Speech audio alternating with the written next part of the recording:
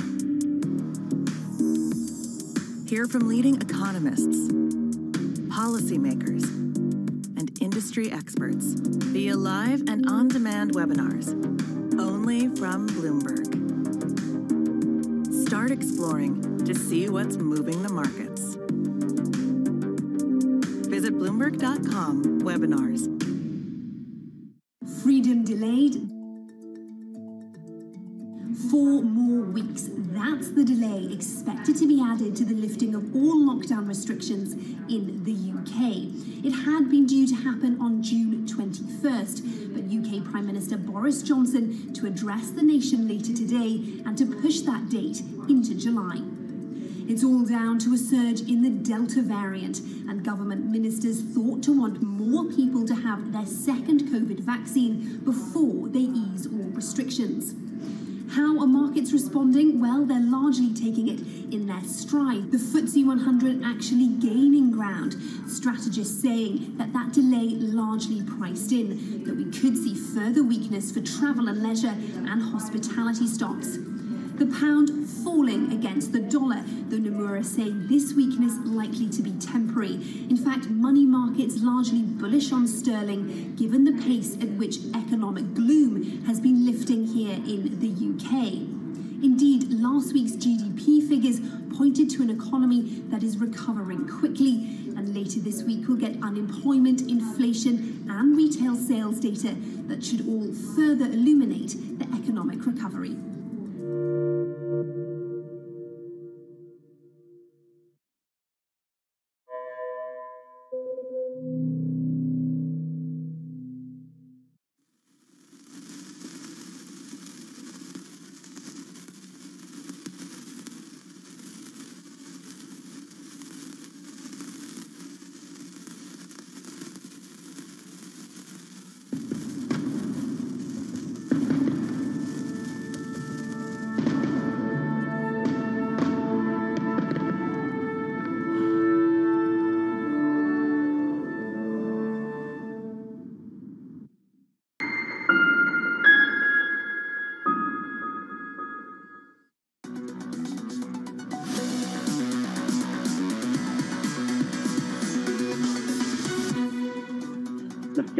The kitchen sink at the banks with the stress test. The banks passed with flying colors. Monday at 4:30 p.m., we expect a flurry of press releases that announces increases in dividends and buybacks, and we ultimately expect capital return to double versus the prior year. Mike Mayo of Wells Fargo expecting the banks to return cash to shareholders with Fed curbs in the rearview mirror. That happened to boost financials to their best week since February. For more, let's bring in Taylor Riggs. Taylor, 4:30, just around the corner. It is. And like you've been saying, about $140 billion for some of at least the top six banks that we could get a flurry of some of those announcements, and particularly uh, led by JP Morgan and B of A could be the largest as you see there in terms of really announcing capital return plans. Could come in the form of both buybacks, of course, which would be the most, and then, of course, some dividend raises. So that's really going to be a key focus. And it's interesting because if you take a look at the chart in the terminal, the dividend advantage has been slowly eroding. Of course, we know that financials are still the second best performer of this year, so that relative dividend attractiveness has been falling. Does that change after the bell today? We will see. One thing we know, though, is that the price performance, at least today, may be a little bit lower. As you can see there, we're off about 1% to 2%.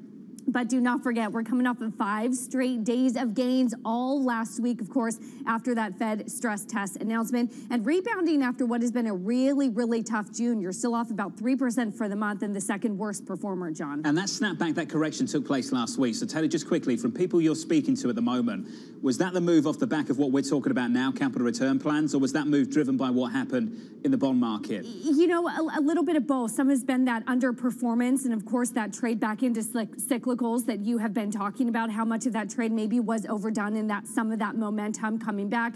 And of course, I think we know today a lot of that price action around the buyback and that capital return plan, it is now maybe priced in. Taylor, thank you. Taylor Riggs, Caroline Hyde, Romaine Bostick coming up a little bit later on the close on Bloomberg TV. Let's cross over now to Nuveen's Brian Nick, Stuart Kaiser of UBS. After the close, we'll get those announcements, Brian. Some big payouts expected from the big banks on Wall Street. Brian, do you want to stick with the banks? I've got the bank sector right now on the S&P 500 up 27% year to date. That's through the first half. What will the second half bring? So I'm more confident that interest rates are going to be higher by the end of the year than I am that the oil price is going to be higher. So if I'm choosing between financials and energy uh, to play the cyclical trade, I'd still rather be with the banks. The, the, the trouble is, and we have a whole uh, section devoted to this in the mid-year, is the, the 10 years really become this puzzle. I think it's been accentuated after the FOMC meeting. We basically have it, you know, moving down because the expectations are now that the Fed tightens too quickly, too early. They won't have to tighten by as much, so rates stay lower. Um, it's going to be hard for I think for investors to continue to puzzle this out. We still are pretty confident that by the end of this year, we're going to be higher on the 10 year. The, the economy will still be doing well, be probably as well as expected, not better than expected at this point. But that will still mean that we can see rates kind of rolling forward to that eventual liftoff and pushing up, and that should be fine for the banks, especially in this, this I think overall very strong global growth environment. But Brian, from your standpoint, the capital return plans alone don't get it done. You need the bond market to come with you it's been so correlated to the 10 year, the relative performance. It's hard to escape from that trade, really, in any sector. I mean, we have the, you know, the, the, the very high dividend sectors have been kind of negatively leveraged uh, to, to the 10 year in many ways. Financials are going to be positively leveraged. And one thing we caution investors about is if we do get some kind of taper related tantrum, some kind of Fed policy error that's worse than the one that we had uh, two weeks ago, um, there's not that many things that do well in a portfolio in that environment. Ten, you could have your bond portfolio selling off, credit should do fine, but in the equity market, the financials would probably be the best game in town in that kind of uh, environment. So if you're looking to hedge against that particular kind of risk, this is not a bad way to do it. So Stu, from your perspective, are we all bond market strategists now? I think we've all been bond market strategists for six or 12 months, John. I think we just uh, just didn't know it, unfortunately.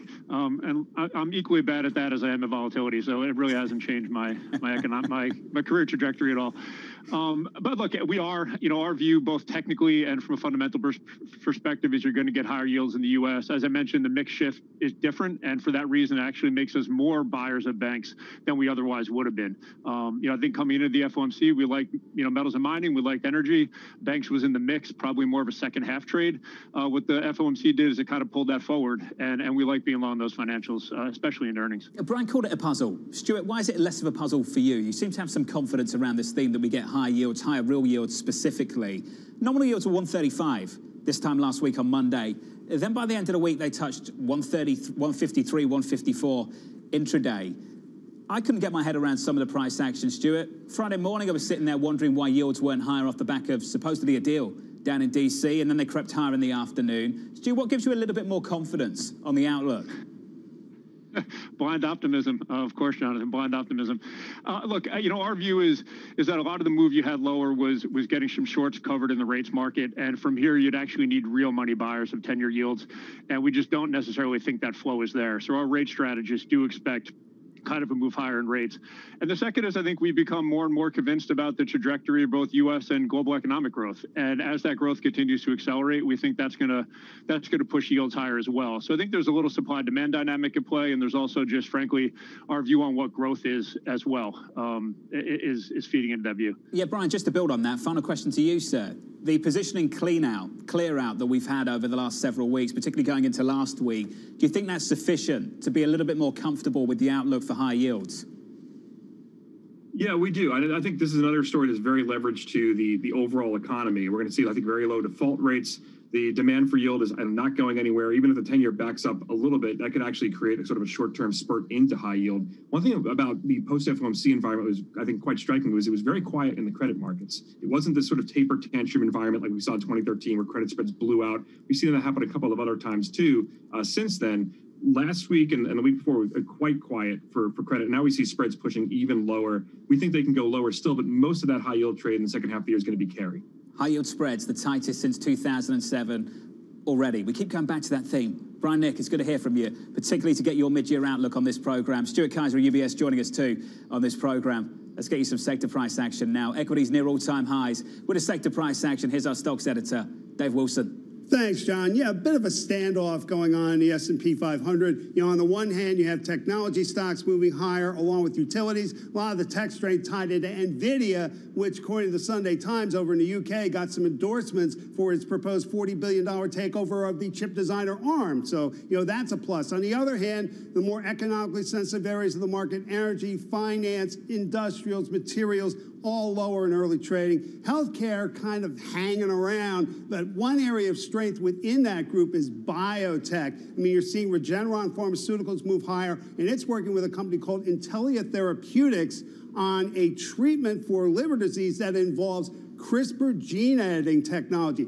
This uh, won the Nobel Prize last year. Uh, and so they're taking that technology and putting it to use. And so you've seen Intellia move up more than 47% in early trading. Beam Therapeutics, uh, CRISPR Therapeutics, Editas Medicine, companies like that also moving higher and giving the Nasdaq Biotech Index a lift, which it needs because it's been trailing the S&P 500 this year and also the uh, Nasdaq uh, Composite. Nasdaq record highs this morning. Hey, Dave, great to catch up. The S&P record highs too. Coming up on the program, the market moving event you need to be watching. That'll be next in our trading diary as we count you down to payrolls Friday from New York. We're down around about three points on the S&P. We pull back 0.06% from New York. This is Bloomberg.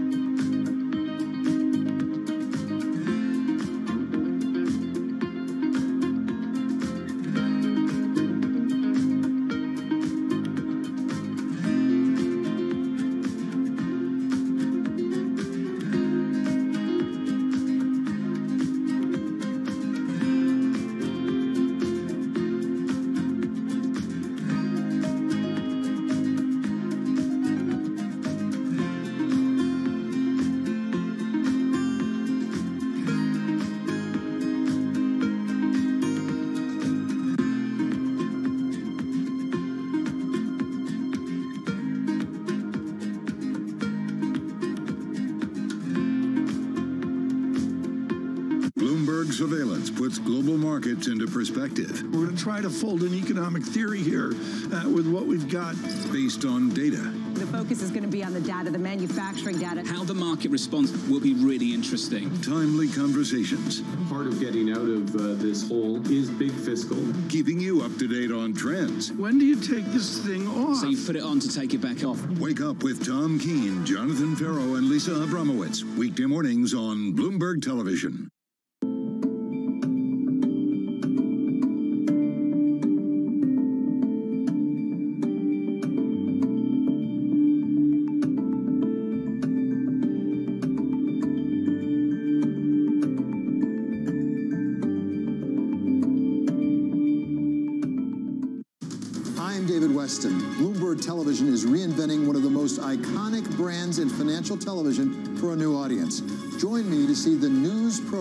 for the clever investor. This is Bloomberg Wall Street Week.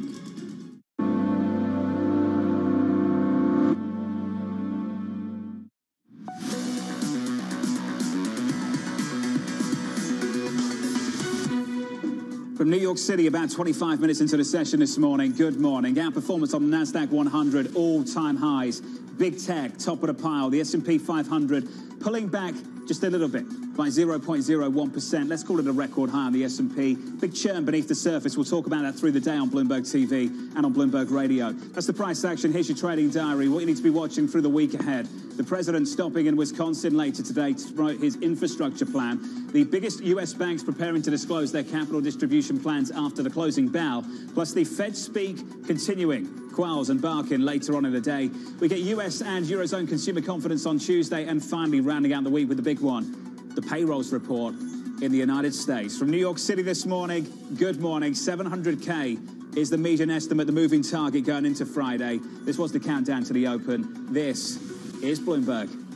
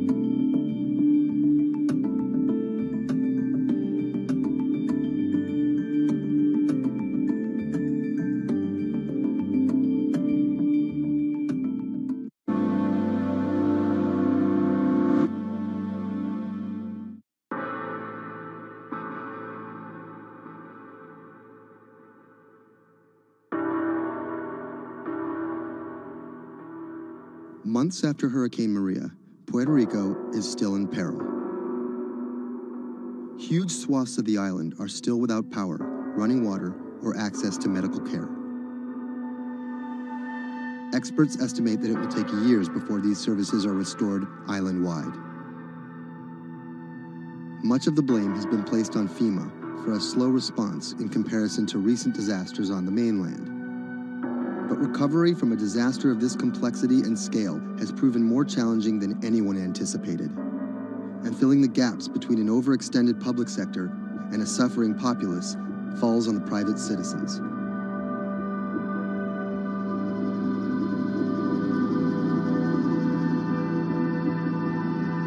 Robert Anderson is a Puerto Rico resident of four years. The eye of the storm came in south of El Yunque, swept up towards San Juan and out to Arecibo. Everything on the right-hand side is what we call the dirty side of the storm. This isn't his first time in a disaster zone. With a military and telecom background, Anderson worked on repairing damaged cell phone towers in New Orleans after Hurricane Katrina. Some might be tempted to label him a disaster capitalist, seeking lucrative government contracts for his expertise. But as Anderson finds himself in the middle of a humanitarian crisis, he and his associates are developing a variety of pro bono recovery projects that target the island's hardest hit areas. I see two Puerto Ricos. We're here in San Juan. They have telecommunications restored.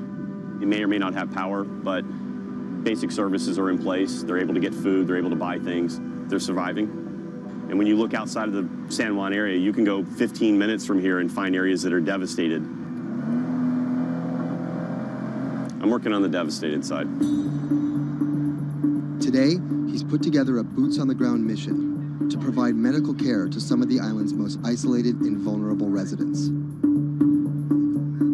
Steve Berenbaum is one of Anderson's business associates. He offered an extra car and a set of hands. So we received an initial report from a nurse that was out in the area. We're headed to the northeast region of Utuado for some people that are in need of urgent medical assistance. Dr. Sally Priester is a physician from San Juan. She filled a van with medical supplies at her own expense and brought along a team of nurses. Google Maps estimated our first destination to be a 90 minute drive.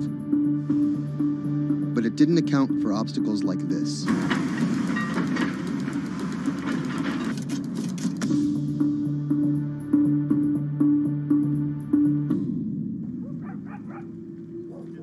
First stop was the home of an 82 year old blind Vietnam veteran.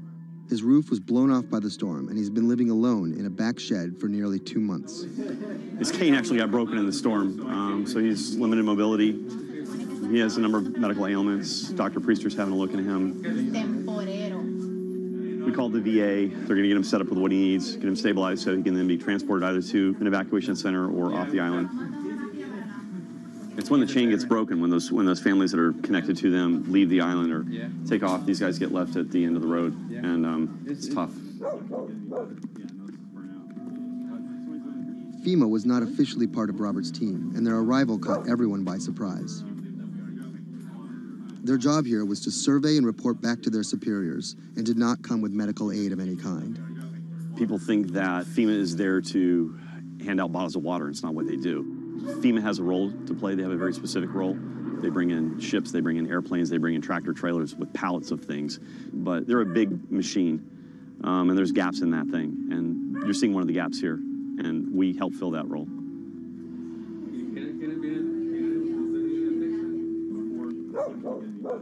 These guys are in a bad situation before, and now they're struggling for real basic things. One of the risks that you run is people going from fear to hopelessness. Uh, those are the folks that we're trying to reach. And how are they reached? How are they even found? Word of mouth, mostly.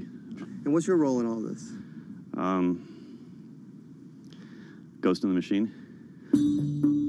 I'm lucky enough to be able to communicate with folks in FEMA, the uh, state of Puerto Rico.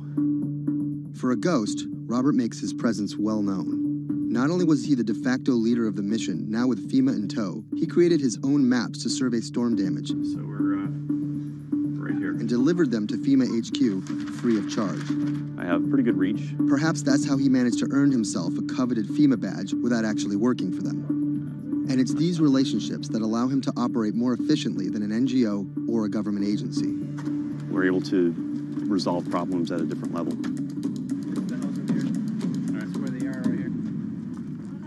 Next stop was on a mountaintop, a family of 11 struggling to care for their special needs brother in what was left of their house. Probably we are the first uh, health team uh, to come and visit this family. Muy bien, todo muy bien. The patient has uh, Down syndrome. He is all day in bed. The difficulty with this is the patient cannot be alone. The most important thing is that you need to take care of the chronic disease besides disability because they have been not going to a doctor and no doctor has coming here yet. So we need a refill of this medication. After maybe 54 days, it's not getting better. And the only way that you can be able to see that is coming to the ground, drive, and see the people and talk to the people. You can see San Juan from here, but you can't get there. It's like the Emerald City.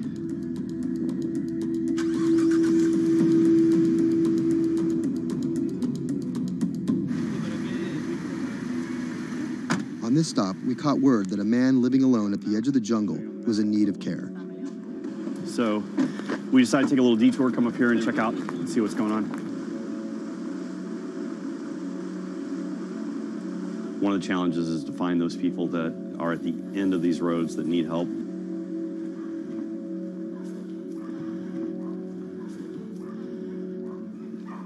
¿Pero por qué estás solo?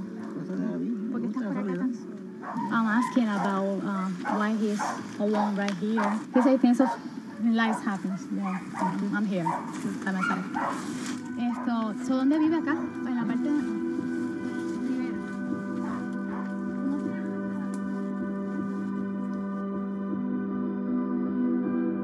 a job. To do this, you need to have passion for what you can do. You're not going to get paid. It's said in disaster response and emergency response that the real first responders are your neighbors. You don't need to wait for a lucrative FEMA contract to go out and, and do good and to help the community. In the end, do you feel like you're making a difference? Lives you touch and people that you can affect. I don't really think about it in those terms. But why do you do it? It helps me sleep at night. Um, I think it's as much for the people that are going out to help and do things as it is for the people that you affect. Whether out of altruism, or the lure of a paid gig, or some mixture of the two, Anderson hopes to stay here to help shape Puerto Rico's future. Puerto Rico's essentially been a colony for 400 years. It was treated poorly by the Spanish. Was not treated well by the United States when they first got here. Puerto Rico can continue in the way that it's always been, or Puerto Rico can rebuild itself like nothing that's ever been. And we have to do everything we can to make that real. That's the bottom line.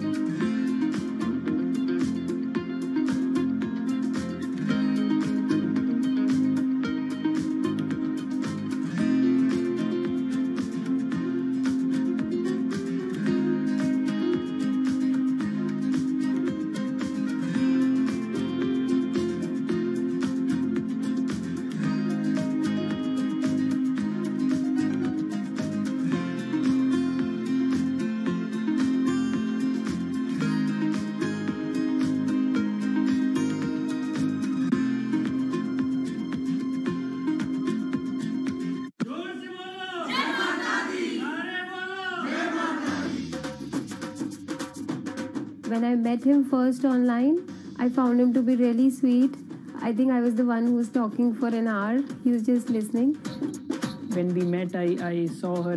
She was uh, beautiful, intelligent, and kind, which was, I mean, something that I was I was looking for.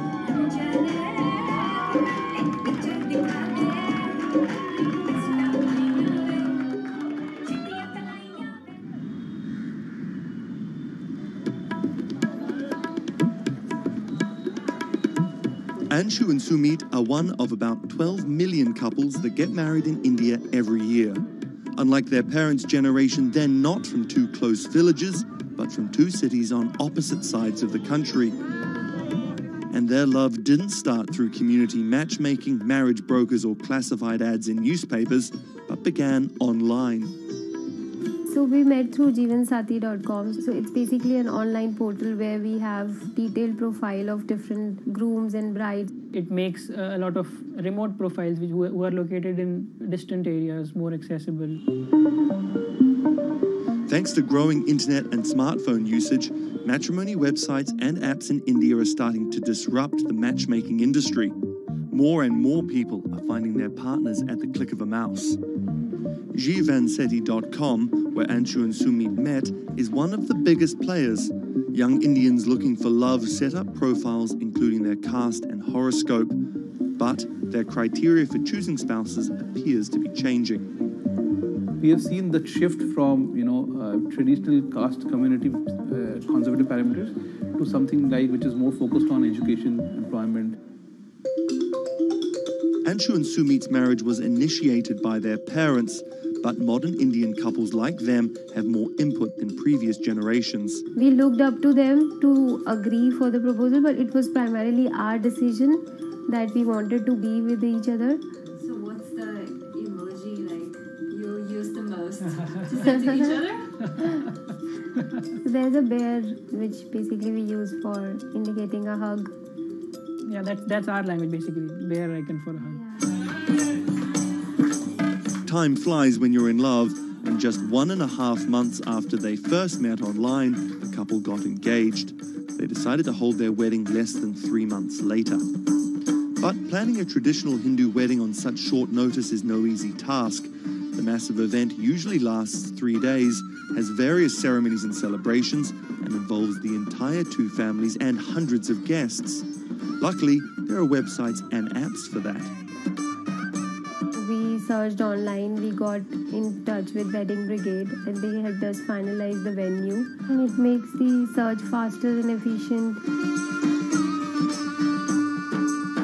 Startups like the Wedding Brigade are challenging traditional wedding planners in this $50 billion industry. It provides various services from booking banquet venues to buying wedding gowns. The website makes money by charging commission from vendors. People don't want to be limited to what is available around them. They want to know the entire range of options available before making a decision. And now it's easy to find almost everything on one portal.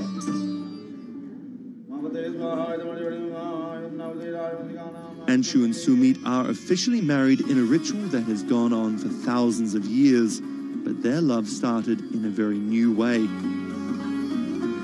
Technologies might be changing the way couples meet, date, and get married in India, but they're definitely not changing everything. The technology was only the first level help that we could get to find each other. Everything else was like very humanly and emotions and feelings based.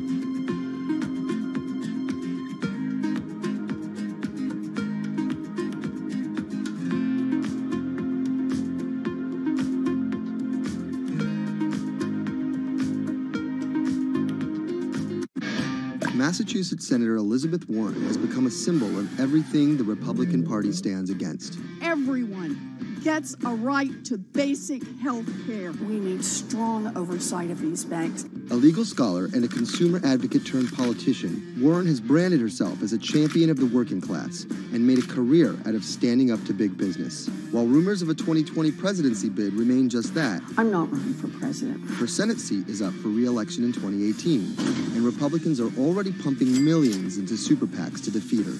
This is the story of how a law professor and politician came to be seen as the biggest threat to Republican values and the greatest hope for progressive America.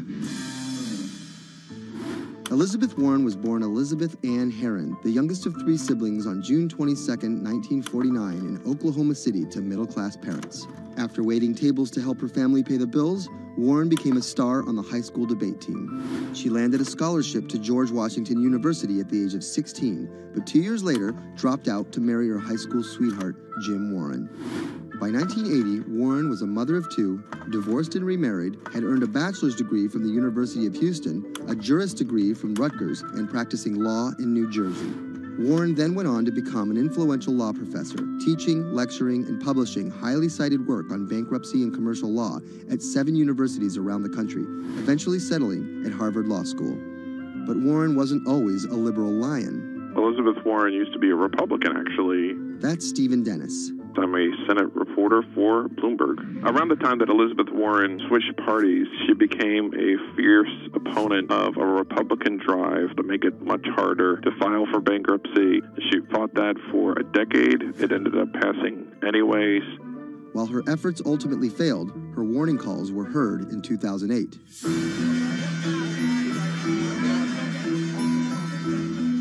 We're in the midst of a serious financial crisis.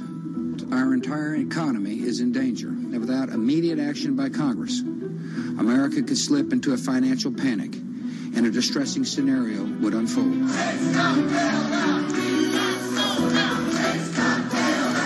Professor Warren was tapped to help with oversight in the government bailout.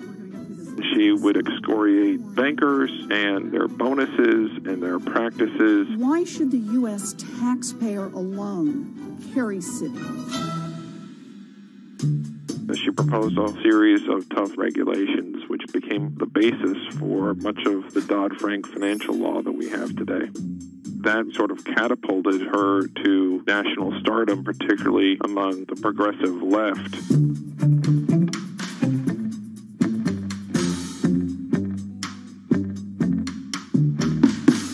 Encouraged by her newfound notoriety, Warren declared her bid for the U.S. Senate on September 14, 2011.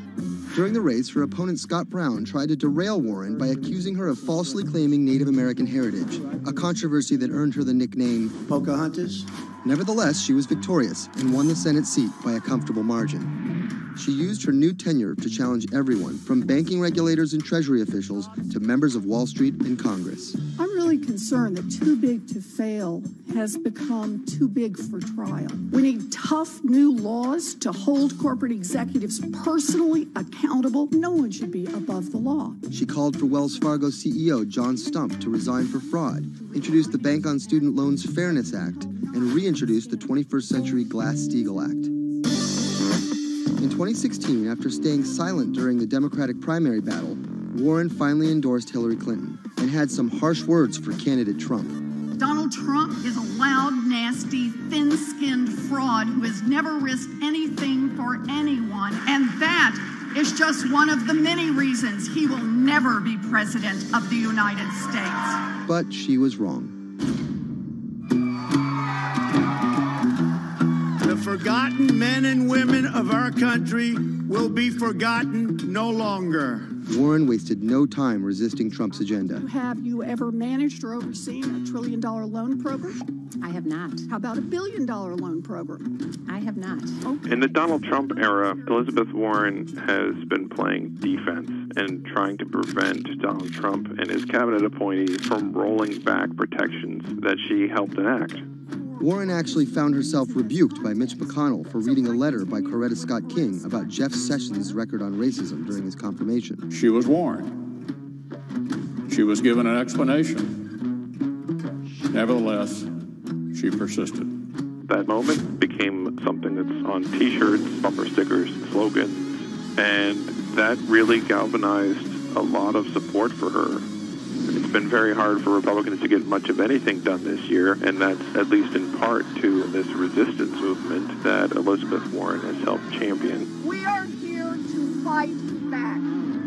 Enough of Elizabeth Warren. Like you. Millions of dollars are being funneled to defeat Warren in the midterm elections in 2018.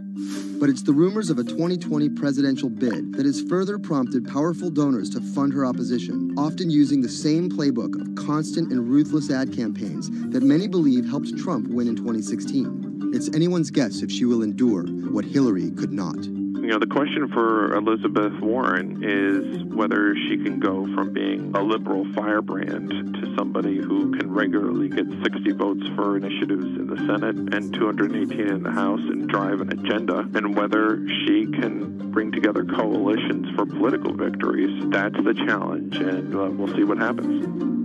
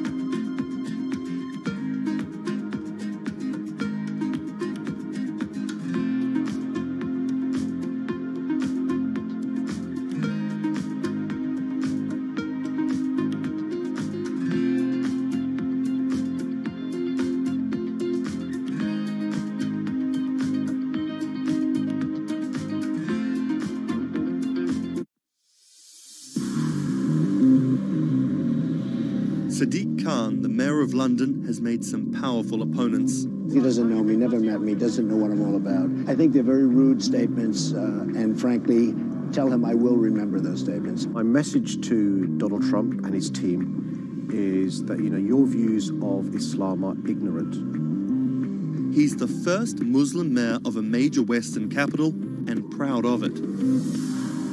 This is how Sadiq Khan went from the son of Pakistani immigrants to a lawyer, lawmaker, and now the mayor of London. Khan's parents emigrated from Pakistan. His father was a bus driver, his mother a stay at home seamstress. The 10 strong Khan family squeezed into a three bedroom flat in South London. He wanted to be a dentist, but TV in the 1980s convinced him otherwise. Objection! LA law, with its swagger and ill fitting suits, caught Khan's eye. He graduated in 1991 with a degree in law from North London University and joined a human rights firm. Khan worked a number of high profile cases, often clashing with London's Metropolitan Police Force. But he had bigger political ambitions. This is what being a new MP is like squatting on a bench in the absence of an office, dealing with letters from constituents. Reports are just coming in of an explosion here in London. And there's just explosions, and then it was just smoke everywhere. Everyone's just asking what's happened, what's happened. Only two months after Khan entered the Commons as a Member of Parliament, London was attacked by Islamist extremists. That day will stay with me for the rest of my life. He spoke out against the attacks both as a London MP and as a Muslim. He has been very clear about his opposition to violence, opposition to terrorism, and has set out to make the case for a more, a more open and peaceful Islam. That's Thomas Penny, one of Bloomberg's Westminster correspondents. Here is a man who is a Muslim, and he is standing up and being open and straightforward and being clear that the problem here is not Islam, but it's Islamic extremism. In 2015, a decade after the attacks, Khan ran for mayor of London, and his faith was back in the headlines. His opponent, Zac Goldsmith, trying to link Khan to radical Islam. The debate got again personal and nasty. The Goldsmith camp has called Khan extreme and accused him of associating with, quote, those who seek to do our police and capital harm. It's a pattern of behaviour. Even the former Prime Minister David Cameron repeated the allegations. He shared a platform with Sajeel Shahid, the man who trained the ringleader of the 7 7 attacks and accused the United States of bringing 9 11 on themselves. But the smears didn't stick. Zac Goldsmith ran a very negative campaign that was based on what people knew was a lie. This election was not without controversy. And I'm so proud that London has today chosen hope over fear and unity over division. After taking the mayor's office with a comfortable majority, Khan has brought a business-like efficiency to the role, scrapping expensive vanity projects like the Garden Bridge and the new Routemaster buses, which cost £350,000 each. The former lawyer who used to fight the police in court is now praised for his close relationship with them. I was talking to a very senior police officer in the Metropolitan Police who said there was a sea change when he went into City Hall, and the police were saying how much they welcomed this because they knew where they stood, and it was more straightforward to work with. So he works like a lawyer, he works like a government minister. Khan's kept his faith at the fore. He's an outspoken voice for moderate Muslims across the world. Donald J. Trump is calling for a total and complete shutdown of Muslims entering the United States. Now, by giving the impression that Islam and the West are incompatible, you're playing into the hands of the extremists. The ongoing spat between Khan and US President Donald Trump escalated when Trump went after Khan, misquoting him on Twitter just hours after the terrorist attacks of June 3, 2017. Khan's now one of the most prominent Labour politicians in the UK. In fact, a recent poll of Londoners found Khan was more trusted to keep the country safe from terrorism than the Prime Minister or the Labour leader.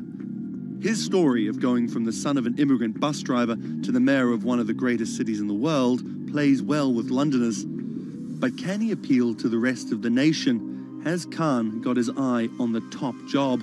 And is the UK ready for a Muslim Prime Minister?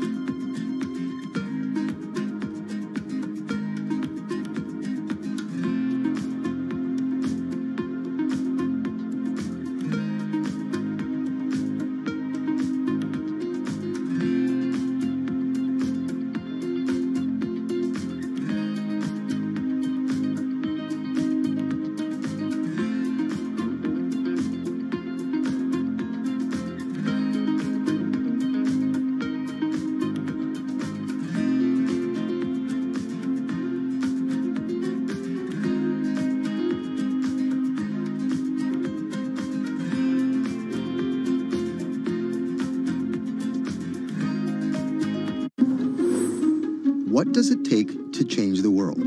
A big army? A cure to a pandemic? A revolution? All of these take either a lot of people, thousands of hours, or massive amounts of space. But for Julian Assange, all he needs is one room, an internet connection, and the world will listen. Assange is located here, and more specifically, right here. And from that location, he's posted government secrets, classified documents, and leaked emails from some of the world's most powerful people. And in doing so, has been labeled a hero, a villain, a nihilist, and everything in between. This is how an Australian programmer sequestered in the Ecuadorian embassy in London became one of the most influential and notorious people in the world. Born in 1971 in Townsville, Australia, Assange has always been on the move. Living in over 30 homes by the time he was in his mid teens, Assange, along with his mother and half brother, finally settled down in Melbourne. His introduction to hacking started at 16 when he was given a Commodore 64, which he attached to a modem. He attended the University of Melbourne, where he studied programming, physics, and mathematics. He never graduated, but that doesn't mean he didn't get an education.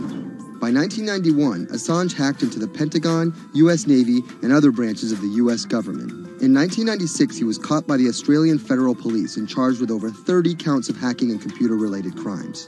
He didn't get any jail time, but he was fined $2,100. I think the first taste of what would come later was the hacking that he did as a young programmer, and that really sort of foreshadowed a healthy skepticism of the use and abuse of technology by governments. That's Vernon Silver. I'm a reporter for Bloomberg's investigations team. Assange's youth as a hacker laid the foundation for him to start WikiLeaks in 2006. But what is WikiLeaks? It's a website that posts unfiltered, usually classified documents. What separates it from every other media outlet is that they have no editorial hierarchy. With a publication like the New York Times, information comes in, they take that information, package it, then disseminate it for the public to see. WikiLeaks, however, cuts out the middleman. WikiLeaks gathers information, most of it given to them anonymously. So what they're doing is really very simple. They get the information in one end from who gives it to them and out the other with sometimes minimal interference. Julian Assange is the leader of that, the mastermind, the creator, and really because he thinks of it as a journalistic enterprise, the editor in chief. But every story starts with a source, and Assange has some unconventional sources. Julian Assange does not hack as far as we know. He is the recipient of people who are either insiders who give him secret documents or hack emails from a foreign power. That's Eli Lake. I am a columnist for Bloomberg. And there was no source bigger for Assange than Chelsea Manning. He used to be known as U.S. soldier Bradley Manning. In 2010, Manning provided Assange and WikiLeaks with hundreds of thousands of leaked government documents. WikiLeaks quietly began releasing the documents in February of 2010, then made big headlines in April by posting what is now known as the collateral murder video. Come on, fire! It was a vivid, graphic video. It changed the debate on the Iraq War, and importantly, it put WikiLeaks on the map when they put it online, and they couldn't be ignored at that point. And those leaks were just the beginning. They went on to post more than 90,000 leaked documents known as the Afghan war logs, 390,000 documents known as the Iraq war logs, and a quarter of a million private messages between diplomats called cables in what is now known as Cablegate. These leaks were met with very real ethical questions. The problem with publishing those cables was that a number of confidential sources for U.S. diplomats who faced real danger when their names were exposed. Then Secretary of State Hillary Clinton drove the point home that every country, including the United States, must be able to have candid conversations about the people and nations with whom they deal. Shortly after Cablegate, the Swedish government issued an arrest warrant for Assange on allegations of rape and molestation. He claimed the allegations were fabricated to get him extradited to the United States, a claim the U.S. government denied. Either way, Assange's next move was to seek refuge in the Ecuadorian embassy, uh, which really was the beginning of the new chapter in his life and what we're dealing with now, which is him being stuck in London. What was supposed to be an office in an embassy is now Assange's self imposed prison to this very day. But that doesn't mean he's slowed down. Since being trapped in the embassy, WikiLeaks has released files about Guantanamo Bay prisoners, Syrian political figures, and the draft to the Trans Pacific Partnership. And then came the 2016 U.S. election. Thousands of leaked emails showed Democratic Party officials possibly plotting against Bernie Sanders in his race against Hillary Clinton. Over the course of 68 days, WikiLeaks released 20,000 confidential Democratic National Committee emails. In terms of the presidential race, if you look right here, when Assange released the first batch of emails, Trump actually takes his first lead against Clinton. I think we've had enough of the Clintons, in all fairness. Once WikiLeaks started exposing secrets of the Democratic Party, Julian Assange became a hero to many on the right. Public opinion kind of flip flopped. WikiLeaks. From the emails, we now know Hillary Clinton's campaign manager makes risotto, and also how the DNC squashed Bernie Sanders' campaign. One thing we don't know is who gave Assange the stolen emails in the first place. Many leading Democrats say they suspect it was the Russians. They released an analysis from a private cybersecurity firm that had said it was the Russians. But Assange claims our source uh, is not the Russian government uh, and it is not a state party. So this is where we stand today. The public still doesn't know who provided the emails to WikiLeaks. Meanwhile, Assange is still running WikiLeaks and still releasing documents. In March 2017, he started publishing documents from the CIA's Center for Cyber Intelligence called Vault 7. The CIA, the agency charged with finding and keeping our top secrets, can't keep its own secrets. As long as Assange has a connection to the world, no government secret will be too far from exposure. Julian Assange is still in the embassy. Maybe he'll leave, maybe he won't. Kind of regardless, his work has been done. He's changed the way people think about their governments, about their own secrets, about their own hackability, and really the world has changed because of him.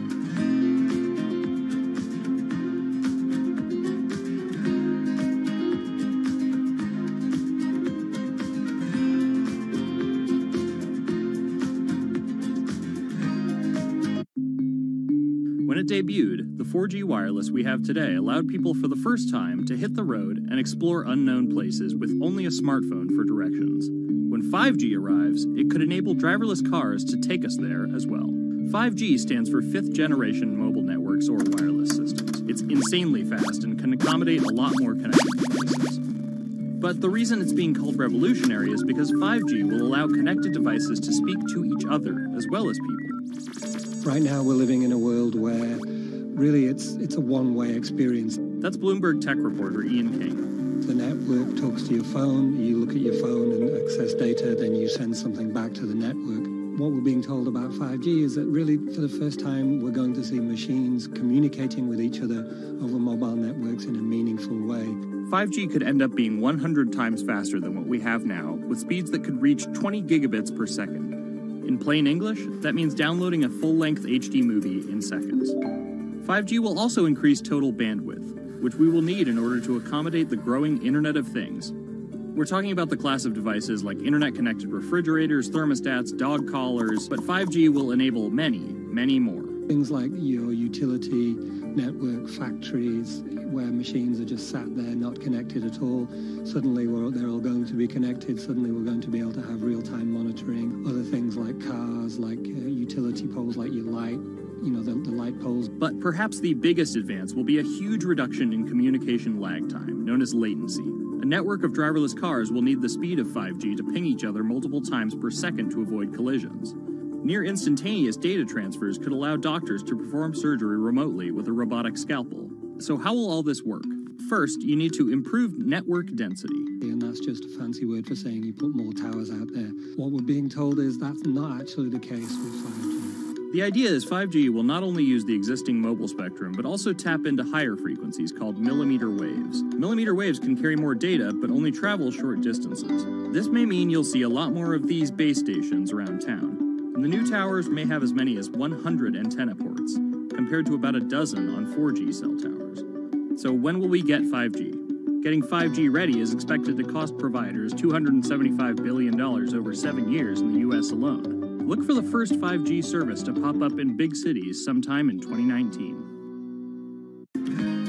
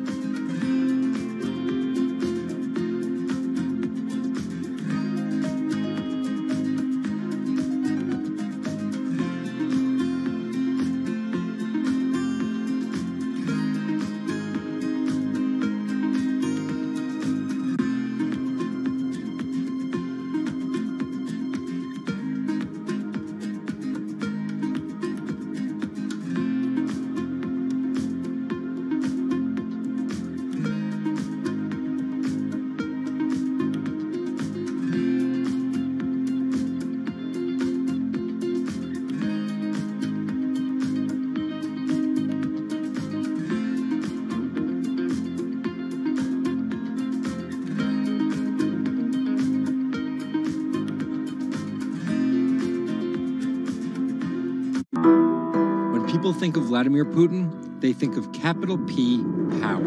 And that's exactly the impression he creates. Whether it's physical power, firing different weapons, riding in various James Bond esque modes of transportation, or tossing hapless opponents in judo, or political power, ruling his own country with an iron fist, crushing his political opposition, or, most recently, being accused of meddling in foreign elections for his own benefit. This is how Vladimir Putin went from a poor, tough kid in Leningrad to a KGB spy to the very symbol of modern Russia.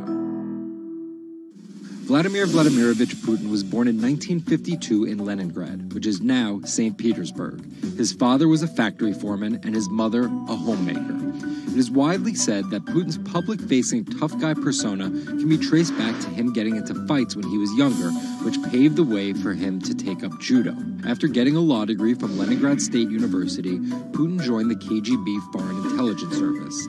He spent 16 years in the KGB. When Putin returned to Russia, he began his political career. He went to work for uh, Anatoly Sobchak, who was then the mayor of St. Petersburg. That's Leonid Bershidsky. I'm a columnist at Bloomberg View. Putin thrived in Sobchak's administration because He was sort of considered pretty efficient city official at that time. He was very loyal to Sobchak. so loyal and efficient that He was noticed by Yeltsin's close circle.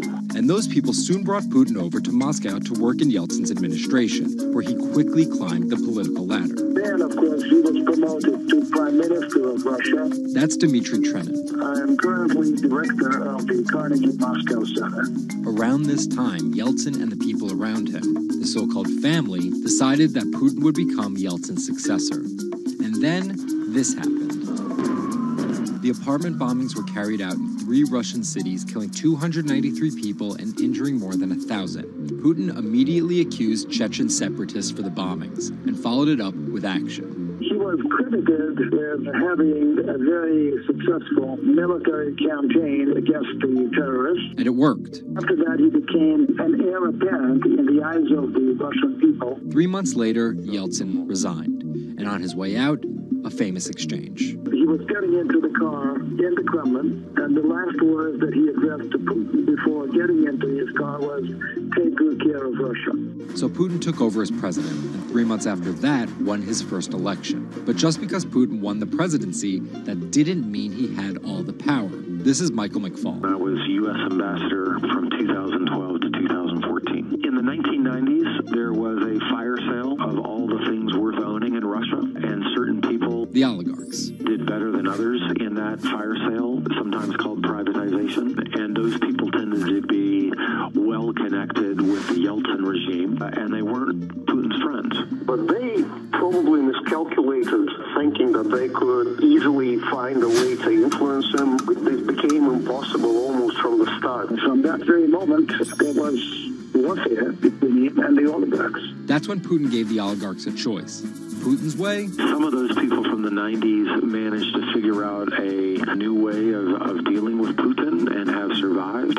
or prison. Others could not find common vision, and so they lost their assets. Khodorkovsky once was Russia's richest person, worth $15 billion, but he ran afoul of President Vladimir Putin and spent a decade in prison. With domestic power consolidated, Putin focused on restoring Russia's global influence. Putin is the guy who believes in the expansionist Russian state. Uh, Georgia and Ukraine and all the other Soviet republics that split off when the Soviet Union fell apart, he still believes that they're traditional Russian satellites. A lot of his strategy is about keeping them in the orbit. That Yeltsin line, take good care of Russia, that's how he understands it. And he used annexation and invasion, as well as oil, gas, and trade to keep former Soviet republics in Russia's orbit.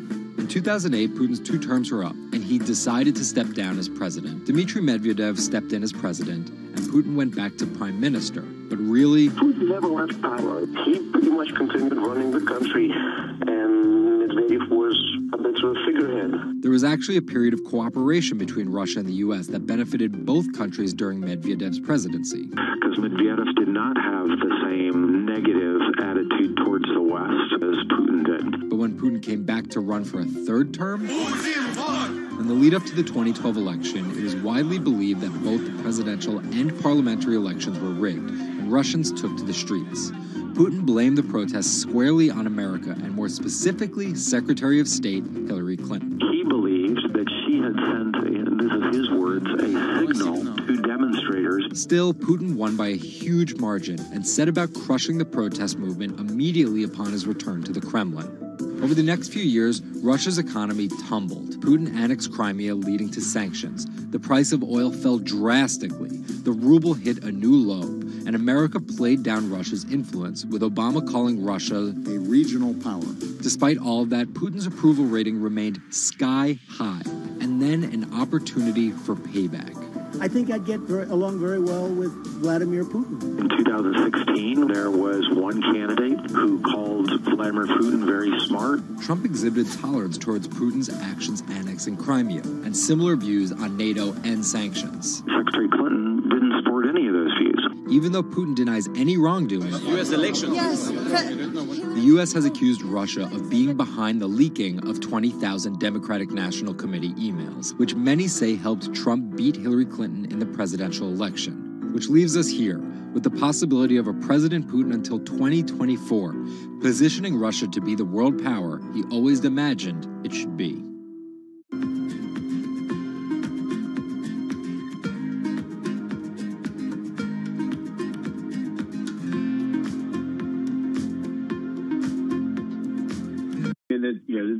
Lot of central banks.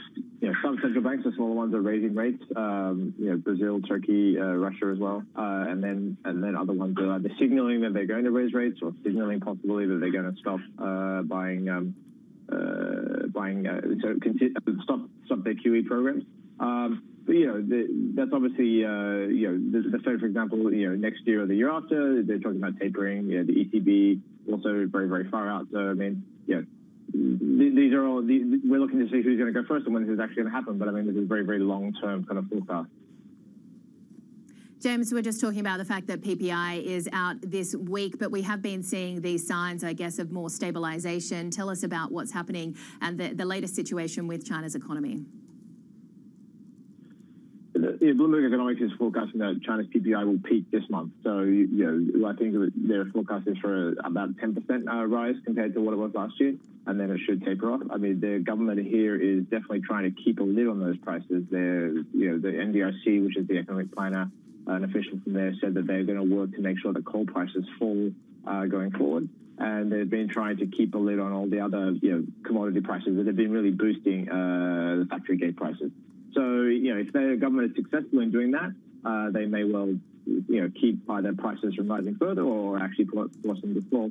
But, you know, one of the things that is driving those rising prices is just how well China's economy is doing and how well other economies are doing. You know, global demand for Chinese goods, but also demand in China for, for, for industrial goods is really one of those things that's driving uh, those, those in, in, uh, driving that inflation. And uh, without you know, it's kind of a it's kind of a, a, bad thing to be uh, unhappy about. You know, the, economy is doing so well that it's driving up prices. Um, but yeah, China's economy is definitely definitely doing much better. We're on, I, I, guess, at the moment we're on track for the best growth we've seen in a decade. So uh, uh, overall, it looks, um, you know, there are a lot of issues, but I mean, overall, it looks to be doing okay.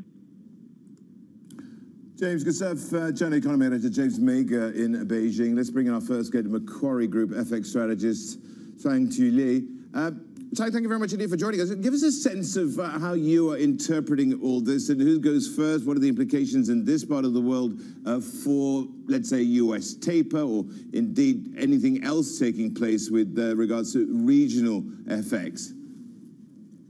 Hi, thanks for having me on the show. I mean, it's certainly a very exciting time. Um, we did have the surprise when it comes to, you know, the earlier signal from the Fed that, you know, policy normalization debate um, is, has now officially begun. Um, and I think, you know, with respect to the dollar, it does mean that going into the second half of this year, the dollar will be more supported. And we do expect US yields to rise steadily uh, as we approach the end of the year after, you know, the recent uh, positioning adjustment that caused a bit of volatility there. Um, however, when it comes to Asia central banks, I think what is quite interesting in this cycle is that we tend to think of Asia central bank as, you know, following the Fed. Um, but I do expect most Asia central banks to actually normalize ahead of the Fed in this cycle. Uh, after all, we don't have a new, you know, mandate for inflation targeting, um, and Asia central banks will have significant constraints if they want to follow the Fed approach because we simply lack the Fed credentials when it comes to, you know, managing inflation and inflation expectation.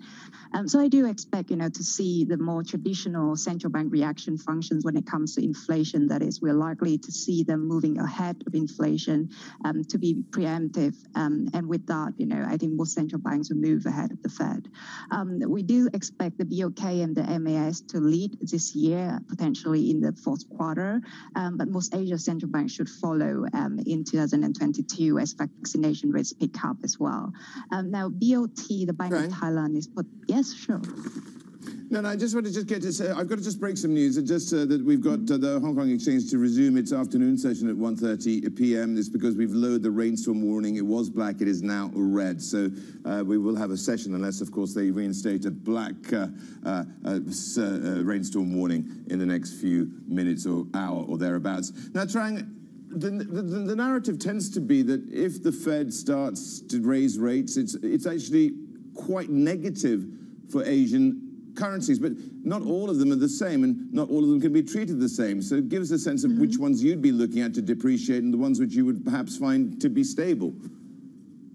Yeah, so I think you know the the part that um, we need to be careful for for this cycle is that you know even though the Fed is on the move when it comes to you know debating about policy normalizations, as I said earlier, some of the Asia central banks may move ahead of the Fed, and that could give you know a various degree of support to Asia currency. So, for example, we do expect the Sing dollar to do relatively well, uh, outperforming the rest of Asia as we move towards the October MAS meeting. I do expect the Sing year to rise towards the top end of its policy band uh, from about slightly above mid at the current point.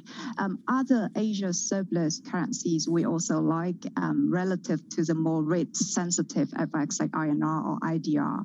Now, having said that, um, I don't think the Korean won will benefit as much from the earlier BOK hawkish shift uh, because, you know, with Korean won, uh, the sensitivity of FX to front end interest rate differential is not high.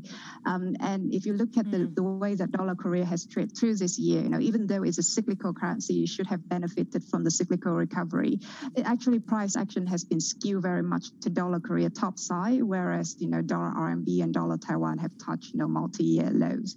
And I think, you know, um, a, a key missing part of the puzzle here, the market um, may not consider yet is because of the structural shift in allocations by Korea pension funds and asset managers towards foreign assets. Um, and unlike Taiwan, they are doing so on an FX unhedged basis, so that would be more negative for the Korean won. Trang, I want to ask you as well about the renminbi, and particularly as we have been seeing efforts from the PBOC in the lead up to the 100th anniversary of the CCP this week. You could expect a little bit of volatility, but this is all about stabilization as well. And finally, I guess mm-hmm. we are seeing authorities follow up their words with actions too. Yeah, I mean, um, this is the, the historical tendency. We we typically see Chinese regulators managing um, overall asset prices volatility, not just FX, um, but also broader China asset prices into major political events. And I do expect the same to play out this time. I mean, they, they the PBOC has stepped away from direct spot market intervention, but we can still see the signal from, for example, the slightly stronger than anticipated fix in the past week or so.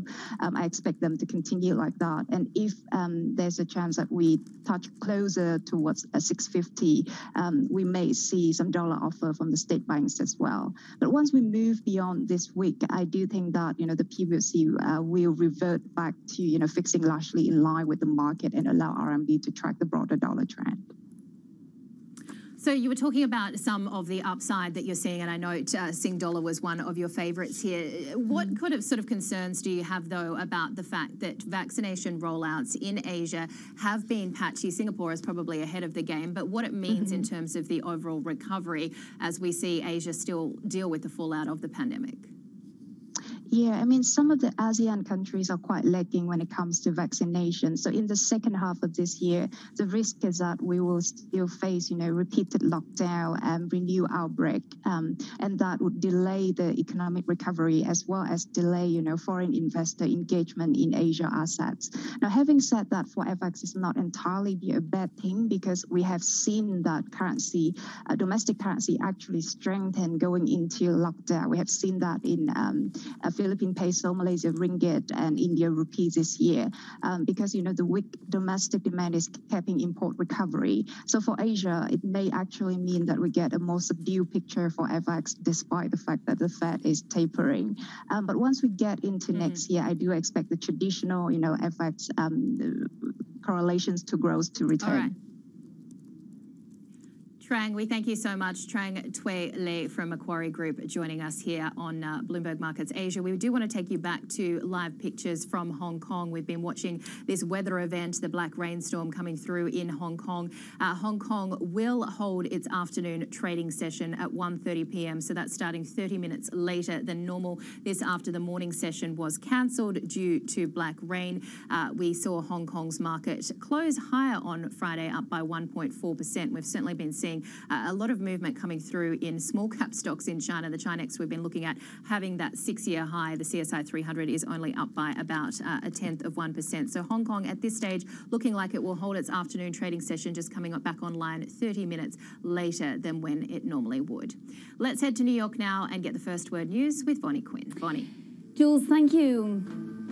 President Joe Biden's infrastructure deal is back on track after he clarified comments that threatened to derail the bipartisan agreement. Republican senators who signed on to the deal were alarmed that Biden seemed to be making a veto threat by linking the $579 million infrastructure plan to a larger tax and spending bill. However, they say negotiations can move ahead now that he clarified his remarks. Binance says uh, services on its website will not see a direct impact from its ban in the UK. British regulators have issued a consumer warning against Binance Markets, saying it's one of several crypto asset firms which couldn't meet anti money laundering standards. The exchange says it hasn't yet launched its UK business, which was a separate legal entity, and doesn't offer services on its main website. Australia has extended virus restrictions as it fights its latest wave of infections. Greater Sydney's 5 million people were put into lockdown on Saturday, while the Northern Territory, Queensland, and Western Australia have also imposed new curbs. While case numbers are relatively low, the flare up puts more pressure on the Morrison government to step up a vaccination program that has lagged many other developed nations. India has redirected at least 50,000 extra troops to its border with China. It's an historic shift towards an offensive military posture against its neighbour. Tensions between the two nations escalated last year with several border skirmishes leading to deaths both sides of the border. Bloomberg has been told that India now has roughly 200,000 troops focused on the border, an increase of more than 40% from last year. Global News 24 hours a day on air and on Bloomberg Quick Take, powered by more than 2,700 journalists and analysts in more than 120 countries. I'm Bonnie Quinn. This is Bloomberg. Rish. All right, well, still to come this hour, the United Kingdom taking one of the most significant moves to crack down on cryptos, restricting Binance from doing business in the country. Going to discuss the impact on the industry. That's next. Plus, a new bad bank is coming to take on India's mountain of bad debt. We'll discuss the challenges in reducing one of the world's worst bad loan piles. This is Bloomberg.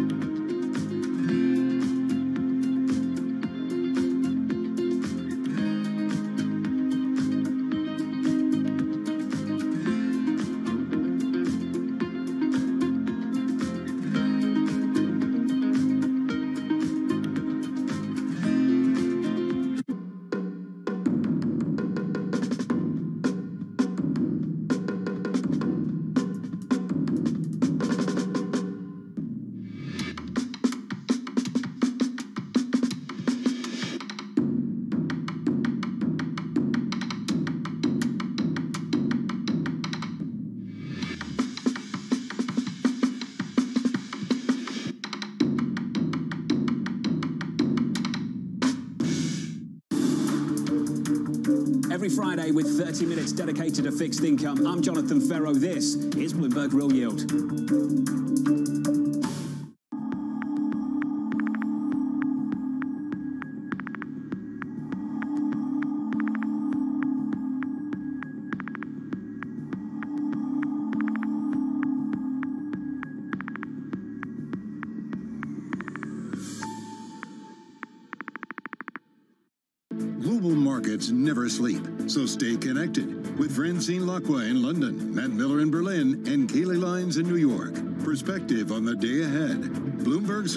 early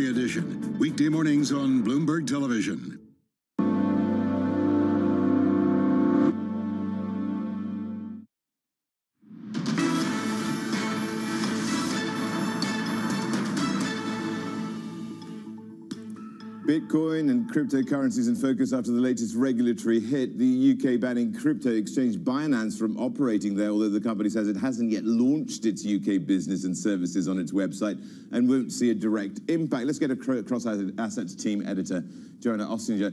Uh, Joanna, th this is just the latest in this sort of barrage of crackdowns on, on this uh, asset class.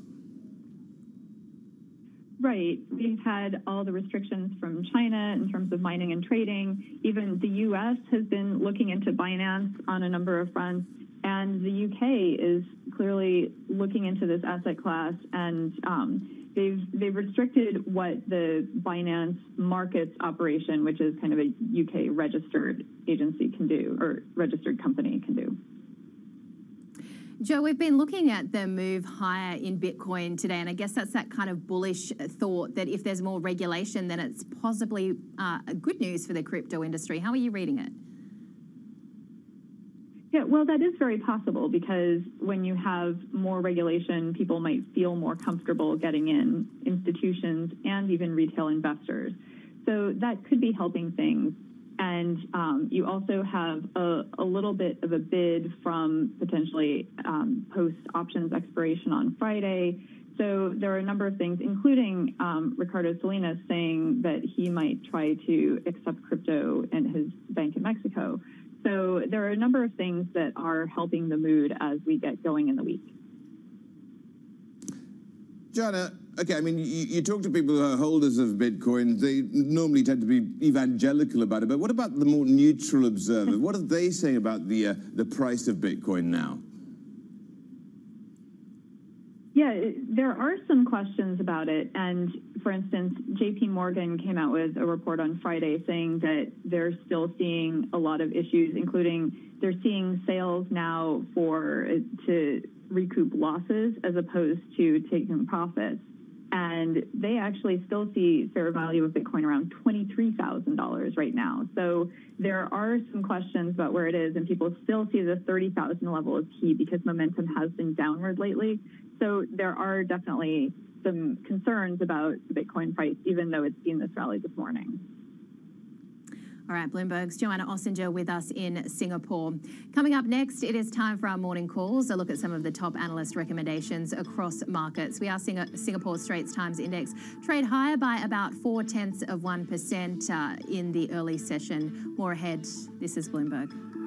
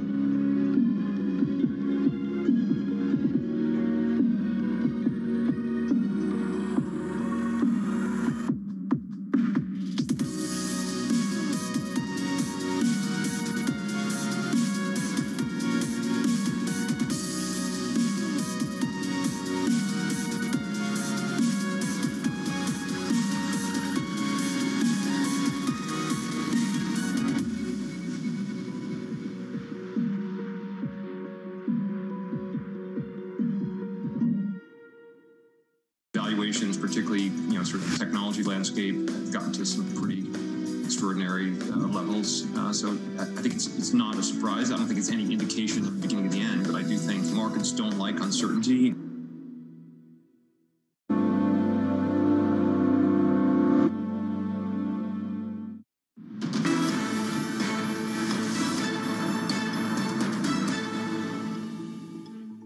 Was a surprise, uh, to say the least, that those two got linked. And I'm glad they've now been delinked, and it's very clear that we can move forward with a bipartisan bill that's broadly popular, not just among members of Congress, but the American people. I do trust the president, and uh, and he made very clear in the much larger statement that came out uh, over the weekend, uh, carefully crafted and thought through piece by piece, uh, that uh, that if the infrastructure bill reaches his desk uh, and it comes alone, he will sign it. At the same time, I recognize that he and his Democrat colleagues want more than that. Recognize that he and his Democrat No, I think that want more than the, the important point here is to focus on the statement yesterday where the president's words speak for uh, themselves. I don't, uh, I speak for the president, but I don't put words in his mouth. And where he has a clear statement, uh, I let that do the speaking. But the important thing is to focus on how historic this infrastructure bill is. Well, just some of the voices we heard over the weekend on President Biden's $579 billion infrastructure deal.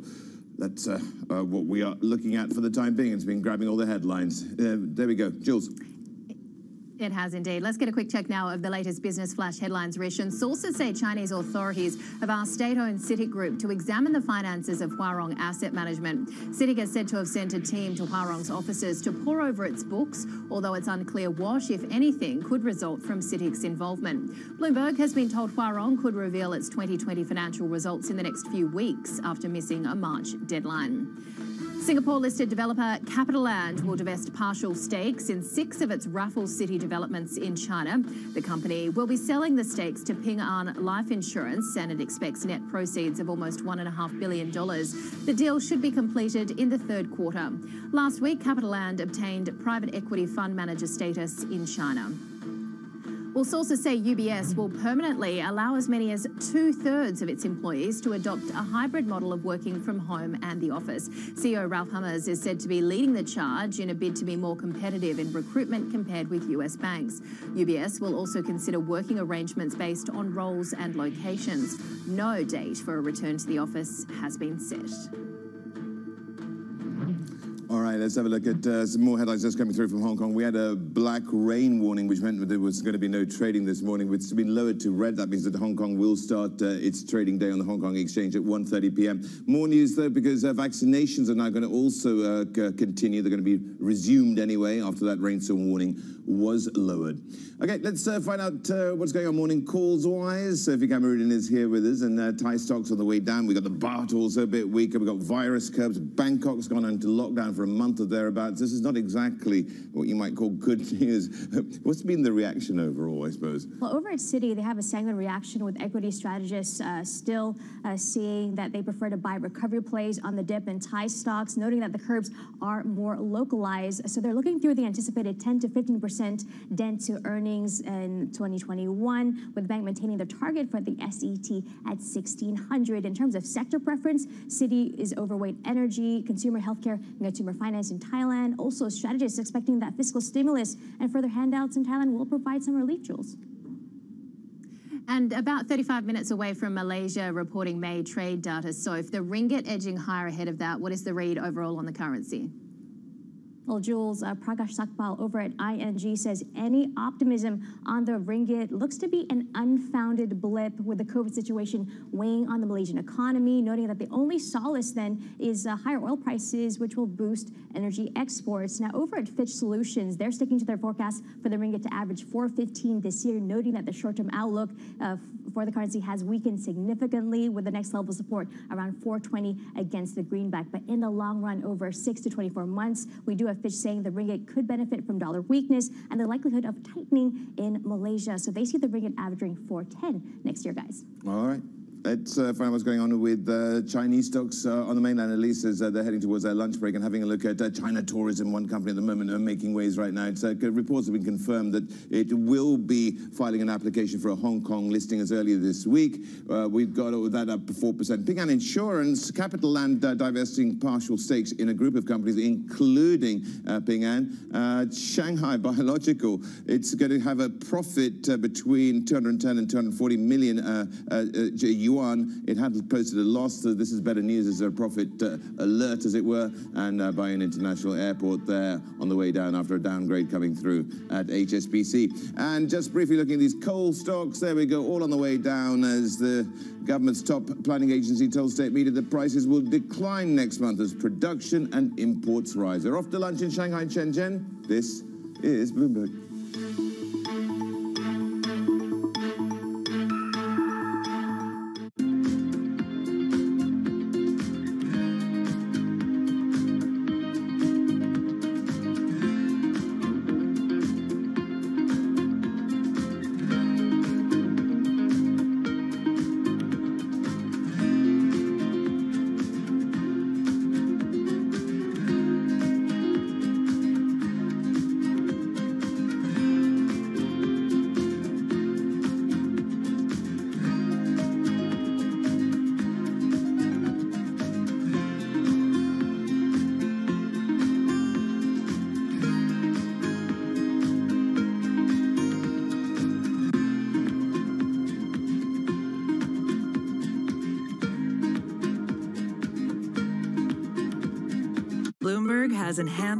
On the terminal to deliver what you need when you need it.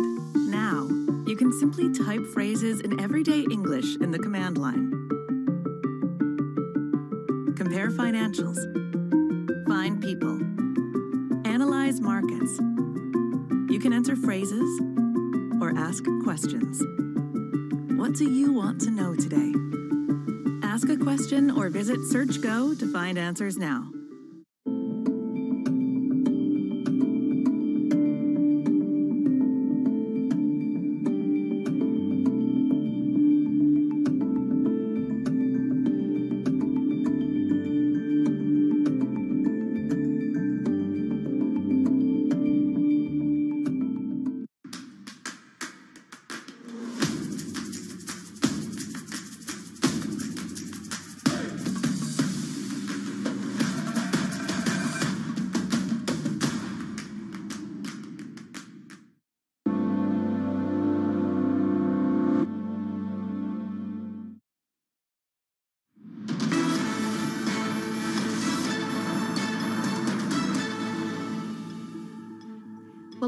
To key stories investors are watching in India today. The economy is showing more signs of cooling in May, but the weakness is already beginning to dissipate as virus lockdowns end. The RBI rejected all bids for the benchmark 10-year bond at the weekly auction in an effort to keep yields under check. And on the earnings front, we have Hindustan Aeronautics, National Aluminium and Welspun Corp reporting today. Checking India uh, futures up by about four-tenths of 1%, suggesting that we will see some momentum coming through in the session, which is pretty mixed across the rest of Asia. Rish. Yeah, Jules, and uh, we've got this so-called bad bank in India expected to launch this month. Now, it's designed to help reduce one of the world's worst debt piles, but a lot of people out there saying that there's a long road ahead here. Let's find out how long that road is, if you will. Uh, Asia Credit reporter Rahul uh, Satija joins us now. Rahul, what do we know about this bad bank? As far as I've been trying to find, I can't find a name for it at least we do have the name for the company, uh, for this entity. It's going to be National Asset Reconstruction Company. But but it's interesting, you know, there are very few details that we officially know. So there are hardly anything we know right now, and that's what making this launch very exciting. Um, here's some of the things we do know, though. Uh, so the launch is going to be in the coming days, and uh, after seeing what happened recently with China's bad bank warrants, India is planning to keep a very tight leash on this bad bank. It's going to have a debt equity ratio of 1 is to 1. Um, one another key detail that we do know from people familiar with the matter is that it, there's going to be a some sort of a sovereign guarantee as security for five years that gives it some time to resolve these bad loans. Rahul, what does this new bad bank mean, though, to the overall banking industry? How significant is this latest development? Yeah, so, so we're talking about really big numbers here. So we're looking at about $27 billion of bad loans being transferred to this bad bank over time, according to multiple reports. And that's about a quarter of India's bad loan files. Now, what we need to remember is that India has been struggling with one of the worst bad loan ratios for years now. And so this comes as a, as a way for, for the government and for the banking industry to finally kick these uh, bad loans away from the bank's balance sheet. And one of the CEOs of banks I spoke to said that this is going to relieve a lot of the time that banks have been spending on stress loans, and they can finally focus on credit growth, which is one of the key factors to, to, to get India's economy going again after the pandemic. Well, tell us about some of the details, I suppose, that the markets will be closely watching out for uh, in terms of what the bad bank does, in terms of what type of bad loans it takes on, I guess. Yes. So the expectation of the market participants and from the banking sources that I have is that it's going to be the worst of the worst loans. So essentially, the loans that banks could not resolve for years now are going to be transferred to this. It's going to be an uphill task for this new bad bank to resolve these assets. What market is closely watching out for is what exactly is the intent of the government with of the government with this bad bank. And so what uh, I got to know from my source in PwC that uh, it, he was worried that this could be essentially used as a warehousing tool. Which what that means is we could transfer some of the balance from the bank's balance sheet to these to this new entity without really resolving this asset. So, so this is some of the concerns that market has. And how, how market is going to judge that is going to be looking at how many turnaround experts is this bad bank really hiring. Um, another key detail uh, I'll end with is on uh, resolution timeline. India has struggled with its bankruptcy laws that were introduced in 2016, and uh, we're seeing delays in, in resolution. About 80% of the recoveries are more, than 80 days, more than 270 days. So so there are serious concerns about uh, these details. The market will be closely uh, looking at uh, what, what government has to say on this. All right, Asia credit reporter Rahul Satija with us in Mumbai. Let's head to New York now and get the first word news with Bonnie Quinn. Hey, Bonnie. Hey, Jules, thank you. The US has launched airstrikes against Iranian backed groups in Syria and Iraq. The Department of Defense says the strikes were aimed at facilities used by militias that launched drone attacks on US personnel in Iraq. The Pentagon says President Biden ordered the strikes to warn against further attacks on the U.S. military. Australia's earnings from energy and mining exports may hit another record in the next 12 months, driven by an accelerating global recovery from the pandemic. Government forecasts see resource sector earnings rising nearly 8% to 254 billion US dollars in the 2022 financial year. Rising sales of LNG and coal are expected to drive most of the increase, with iron ore expected to ease from record levels. South Africa's President Cyril Ramaphosa has banned alcohol, outlawed public gatherings, and closed schools to curb surging coronavirus infections. The country has moved to alert level 4, the nation's second highest level, and the restrictions will remain for 14 days. The move threatens South Africa's recovery from its worst contraction in a century last year when gross domestic product shrank 7%.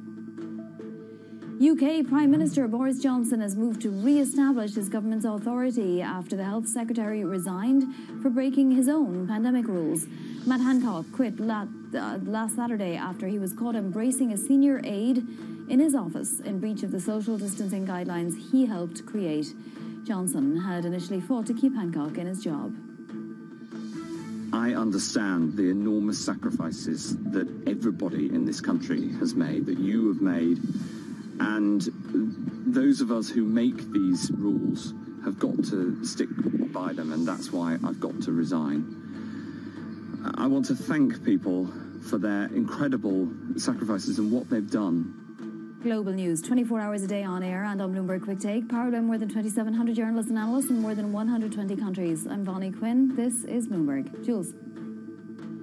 Bonnie, we are seeing Asian stocks hovering near a four-month high. What has been an interesting day here because we've got Hong Kong out of action for the morning session due to that black rainstorm. But Hong Kong will come back online at 1.30 p.m. local, so half an hour later than normal after the lunch break. The Nikkei and the Kospi a little weaker. We're seeing some gains coming through in the TAIEX thanks to those uh, chip maker gains. And Australia's market off by about a tenth of 1% as we see this effect of the Sydney lockdown and a lockdown in Darwin too. Let's flip the board and have a look at how that's affecting travel stocks. Qantas has fallen the most in a year today, now down by almost 4%. Flight Centre in Sydney also under pressure. We've been watching Seven and I rise to its highest in more than five years in Tokyo. This after the US FTC voted to approve a consent order on its acquisition of Speedway from Marathon Petroleum. And then also watching this big rise that you've seen coming through in a lot of the Taiwanese shipping companies as investors assess rather the bulk outlook, uh, the bull run for bulk shipping expected to last for at least five years, according to the Taipei-based Economic Daily News. Rish. Yeah, having a look at the oil market as well now, Jules, and having a look at uh, how it closed out last week with a fifth weekly gain. In fact, what we do have is a 52% gain in the oil price since the start of the year. Uh, maybe just under a little bit of pressure today, but that certainly doesn't take the shine off the recovery it's had. Let's have a look at this upcoming meeting of uh, OPEC Plus. We've got energy and commodities editor Andrew James joining us now. Andrew, give us a sense of how much supply OPEC Plus is likely to restore in August uh, uh, at this meeting. I think it's on Thursday, isn't it? And uh, doesn't Tehran also throw a spanner in the works in all this?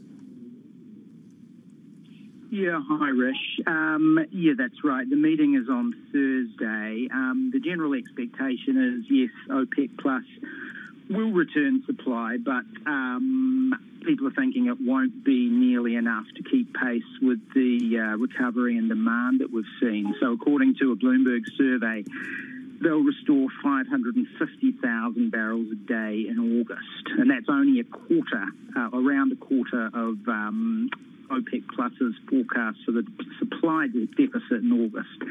Um, yeah, and Iran is sort of throwing a spanner in the works. Those negotiations um, over the nuclear deal have been dragging on for quite a while now, and we also have just seen these US strikes over the weekend, which you wouldn't think are going to help those negotiations. Um, but that said, there's still the possibility that at some point over the next few months, quite a lot of Iranian oil comes back. So that may um, cause OPEC Plus and the Saudis to be more cautious um, about returning more supply.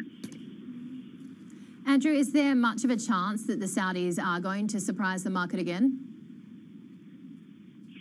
Yeah, well, well, one thing we have seen with Prince Abdul Abdulaziz, the Saudi um, energy minister, and that he seems to genuinely enjoy um, surprising the market, um, and he's sort of said that he sets out to wrong foot speculators.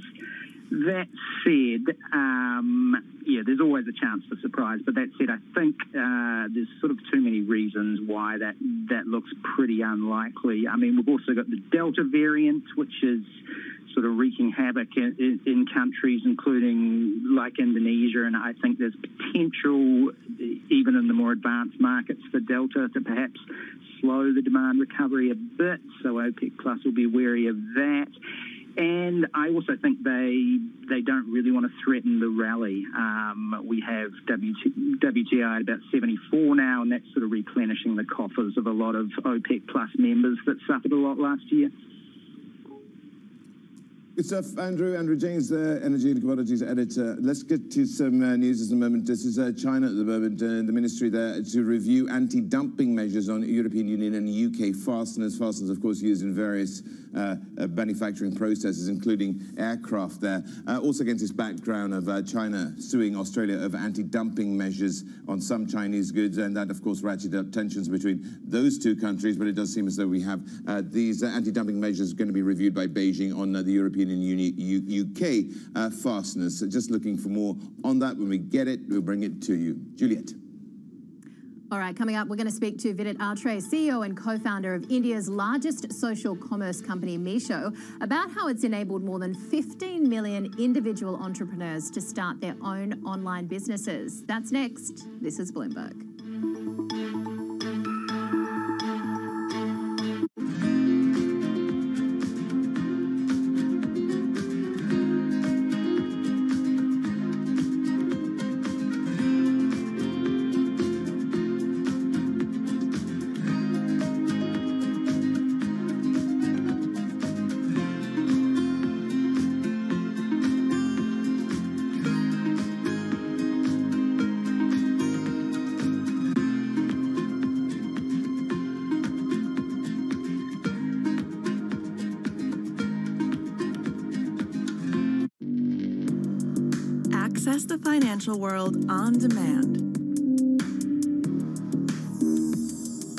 From leading economists, policymakers, and industry experts via live and on demand webinars only from Bloomberg. Start exploring to see what's moving the markets. Visit Bloomberg.com webinars. Mercedes-Benz is on a path towards CO2 neutral uh, mobility. So we have flicked the switch there, and really, uh, we're going to step by step electrify everything. And what does that mean? Combustion engines get electrified. This is a market that over the past few weeks has made it clear it wants to go higher. It got a little spooked by the idea that geopolitical tensions are rising.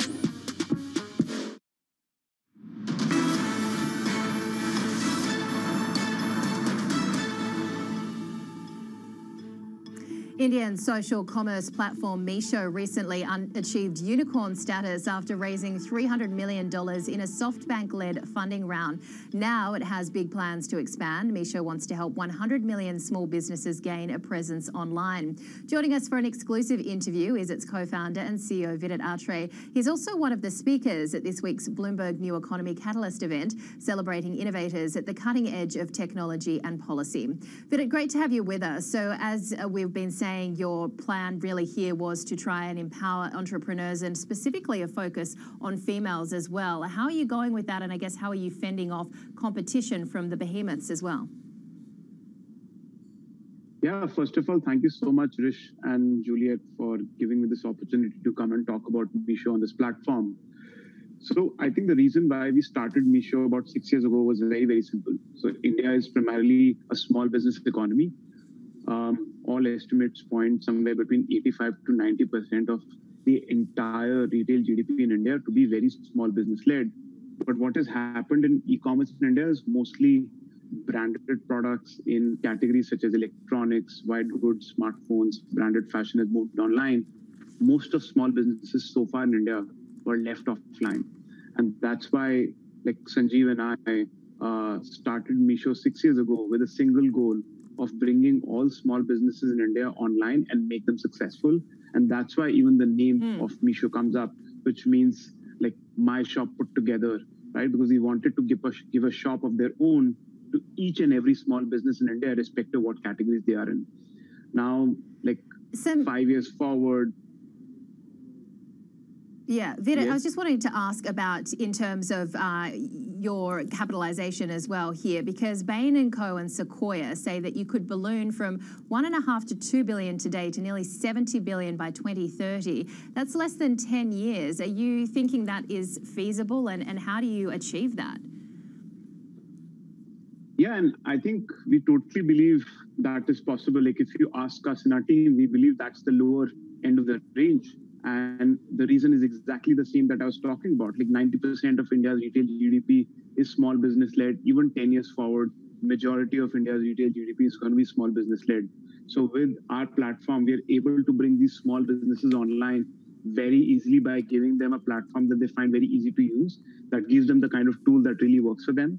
So if you ask us, we really believe that is very, very much possible. Vidit, I want to get a sense actually of you know how it works. You know, you call yourself essentially as a, a social commerce platform. You're an aggregator in some ways, I, am guessing here as well. But you know, what's your unique selling point? Yeah, I think we built the entire platform on a very single but powerful insight. So most small businesses in India are community businesses. So they operate in a particular community. They build trust with that community and they continue to sell products to them. What we said was where have communities moved online, they have moved to social platforms such as WhatsApp, Facebook, and Instagram in India. So we said, how can we power communities on these social platforms to become shops? So we enable these offline small businesses to now become like online native small businesses. And that's what we build the platform on. So today, any small business can come to Meesho, start a store, a community store, on some of these social platforms and we give them all tools starting with like logistics payments marketing tools and anything else that they need to power the shop Vidit, Give me a sense, though, of the exit strategy. Is there an IPO in prospect very, very quickly? Yeah, so our goal, at least for the next couple of years, is very focused, which is to keep expanding the market, keep getting millions and millions of more of these small businesses come to a platform and become successful. I don't think we are looking at IPO or anything else for the next couple of years at least. But yeah, I think at some point in time, we'll definitely look at some of these things. Then, of course, uh, the pandemic has taken a terrible toll uh, societally there in India. How has it affected your business, and what has it done in terms of getting people to set up shops on Meesho? And, uh, you know, what does that mean looking ahead as well? Yeah, I think the pandemic has created very, very strong tailwinds for e-commerce across the globe. Like you look at any geography, you would have seen e-commerce companies growing very well. But in India, I think those tailwinds are even stronger because pre-pandemic, most of small towns and cities that tend to buy from small businesses more were almost all offline, like like negligible penetration online. And suddenly the pandemic came and people found it much more uncomfortable going offline and buying products because they wanted to stay safe.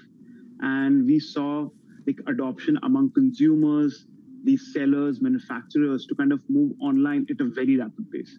And we have so seen those benefits even in our business, right? So we have grown like 10x over the last 15 months in mm. terms of number of orders per day, in terms of small businesses on the platform, and so on. So very, very strong tailwinds.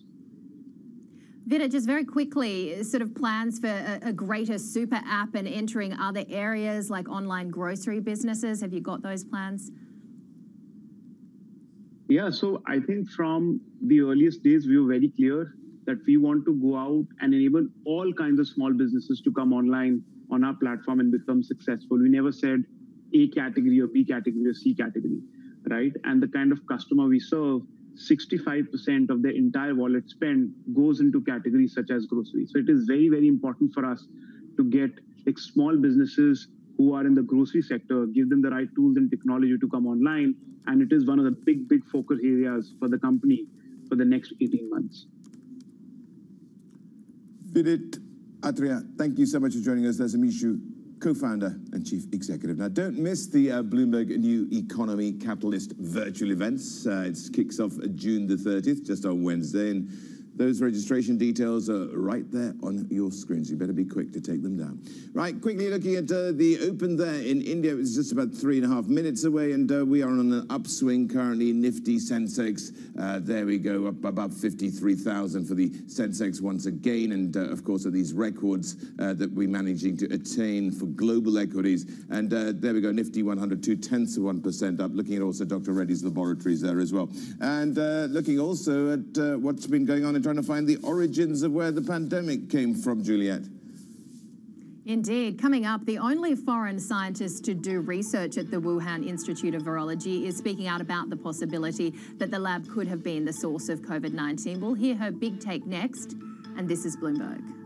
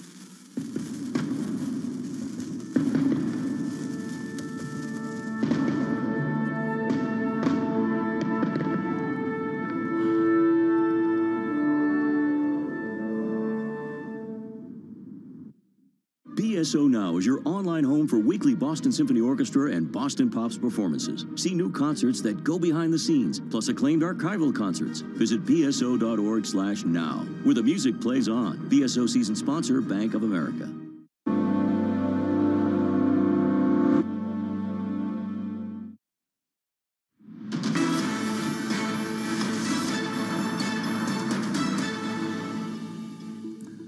Back with Bloomberg Markets. Virologist Danielle Anderson was the last and only foreign scientist at the Wuhan Institute of Virology, and uh, of course, this place has become a flashpoint in the search for the origin of the worst pandemic in a century. She spoke to Bloomberg about her time there, saying there's no indication it was responsible for the COVID 19 outbreak in any way. There was no chatter of anything. Um, scientists are gossipy um, and excited. So, yeah, nothing strange from my point of view going on at that point that, that would make you think, oh, something's going on here. Let's get more from healthcare reporter Michelle Cortez, who wrote Bloomberg's scoop story. Michelle, what a fascinating uh, story and interview you've had here with Danielle. Tell us more of what she said, because I guess essentially she was saying that uh, there wasn't anything too untoward that she saw. Well, the Wuhan Institute of Virology has become, as you say, a flashpoint. It's a geopolitical issue, contention between China, the World Health Organization, the U.S., and others. And Danielle Anderson says that what she's been seeing in the media and the claims about what's happened there just don't really measure up with what she experienced when she was on the ground. She says that they did, they had very strict and vigorous rules around making sure that they're very careful with the virus that they're using, that they have um, all kinds of disinfectants and protocols. There's a very choreographed method that you have to go through in order to get in and out of the lab. And she does not believe that there is any chance that that virus was man made and intentionally leaked. While she does say it's possible that it could have come out of the lab as other viruses have escaped previous labs, she does not think that this is anything other than an, a natural origin virus. Michelle, of course, uh, there'll be calls for more investigations into the origins of this. And, uh, naturally, of course, the first theory was it was animal to human contact or indeed uh, eating of an animal. Well, there are viruses that jump from animals to humans all the time. It happens with a, a, shocking degree of regularity in the animal kingdom. And, and we all know about that. The thing is, is that we all can acknowledge is that we have no idea where this coronavirus came from. It is most likely that it came from animals. That's what most scientists believe. But the bottom line is, is that we don't know where. We don't know what animal it came from. We don't know if there's another animal that it came through. And the answers to those questions are really important, not only so that we know what happened to us, but so that we can make sure that something similar doesn't happen in the future. Danielle Anderson and most other scientists are saying we really do need to get to the bottom of this, and we don't need to do it by leveling accusations at, at, at other places what we really need is transparency and cooperation in a in a global manner in order to get to the bottom of this mystery.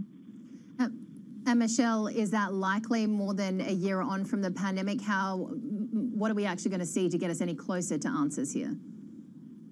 Well, it did take over a decade to find out what what caused SARS, the original coronavirus outbreak that happened in 2002 and killed over 700 people, mainly in Asia. So it is possible that we're going to be getting it, that we can get an answer here, and that it might take an, an awfully long period of time. But there is just so much geopolitical infighting happening here. There's so many allegations and distrust in all in all frankness that we're going to have to get over in order to get an answer. Now, the World Health Organization is saying that they feel like there should be another look at this, and other people are getting on board. So hopefully we can get some some openness and cooperation with the intent of getting an answer and not just casting blame. All right, Bloomberg healthcare reporter Michelle Cortez. Let's take a quick look at the latest business flash headlines now. And Bloomberg has learned that Chinese ride hailing giant Didi is planning to stop taking investor orders for its US IPO a day earlier than planned. Our sources say orders will close at 5 p.m. Monday across regions. Pricing is scheduled for Tuesday after the US market close. Didi is hoping to raise $4 billion at a valuation of around 67 billion, well below the most bullish hopes for a $100 billion valuation. Tesla will make a software fix to more than 285,000 cars in China to address a safety issue identified by the country's regulator. That accounts for most of the vehicles delivered there in recent years. The recall is expected to be done remotely with an online update after regulators said autopilot systems can be activated automatically, potentially leading to crashes from sudden acceleration. China's Envision Group will spend as much as $2.4 billion on a battery plant in northern France to power Renault EVs. The carmaker's new strategy will also see it acquire a stake of about 20% in French startup Verkor. President Emmanuel Macron is due to unveil the agreements on Monday. Okay, let's have a look at uh, these uh, benchmarks. Of course, uh, we don't have Hong Kong, which would be heading up for its lunch break. That's uh, because we had a, black rainstorm earlier, which uh, means that uh, there was no trading. But it's been reduced now to amber, and that does mean that we'll have trading at 1.30. In fact, it was at red, which would mean that as well. Taipei is one of the few stock markets on the way up as Asian equities drift down. Investors waiting for fresh signs of any health of the so-called reflation trade. Daybreak Middle East is next.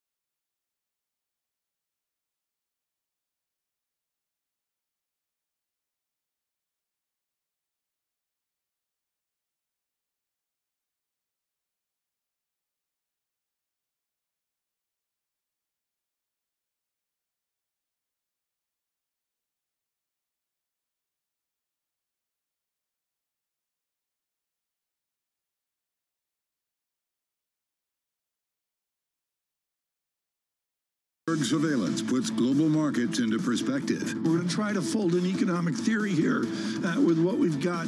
Based on data. The focus is going to be on the data, the manufacturing data. How the market responds will be really interesting. Timely conversations. Part of getting out of uh, this hole is big fiscal.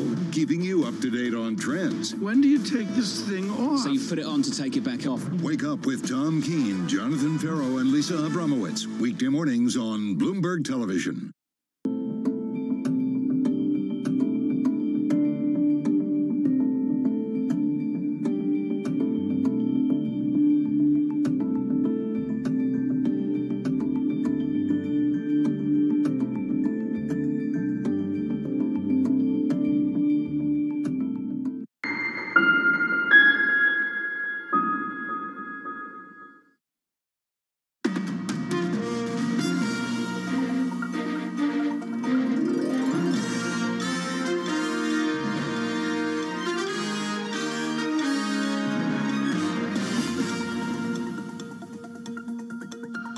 Bloomberg Daybreak Middle East. Our top stories this morning. U.S. equity futures push higher after the S&P 500's best week since February as investors prepare for Friday's jobs data. Eric Rosengren says liftoff could come as soon as late 2022.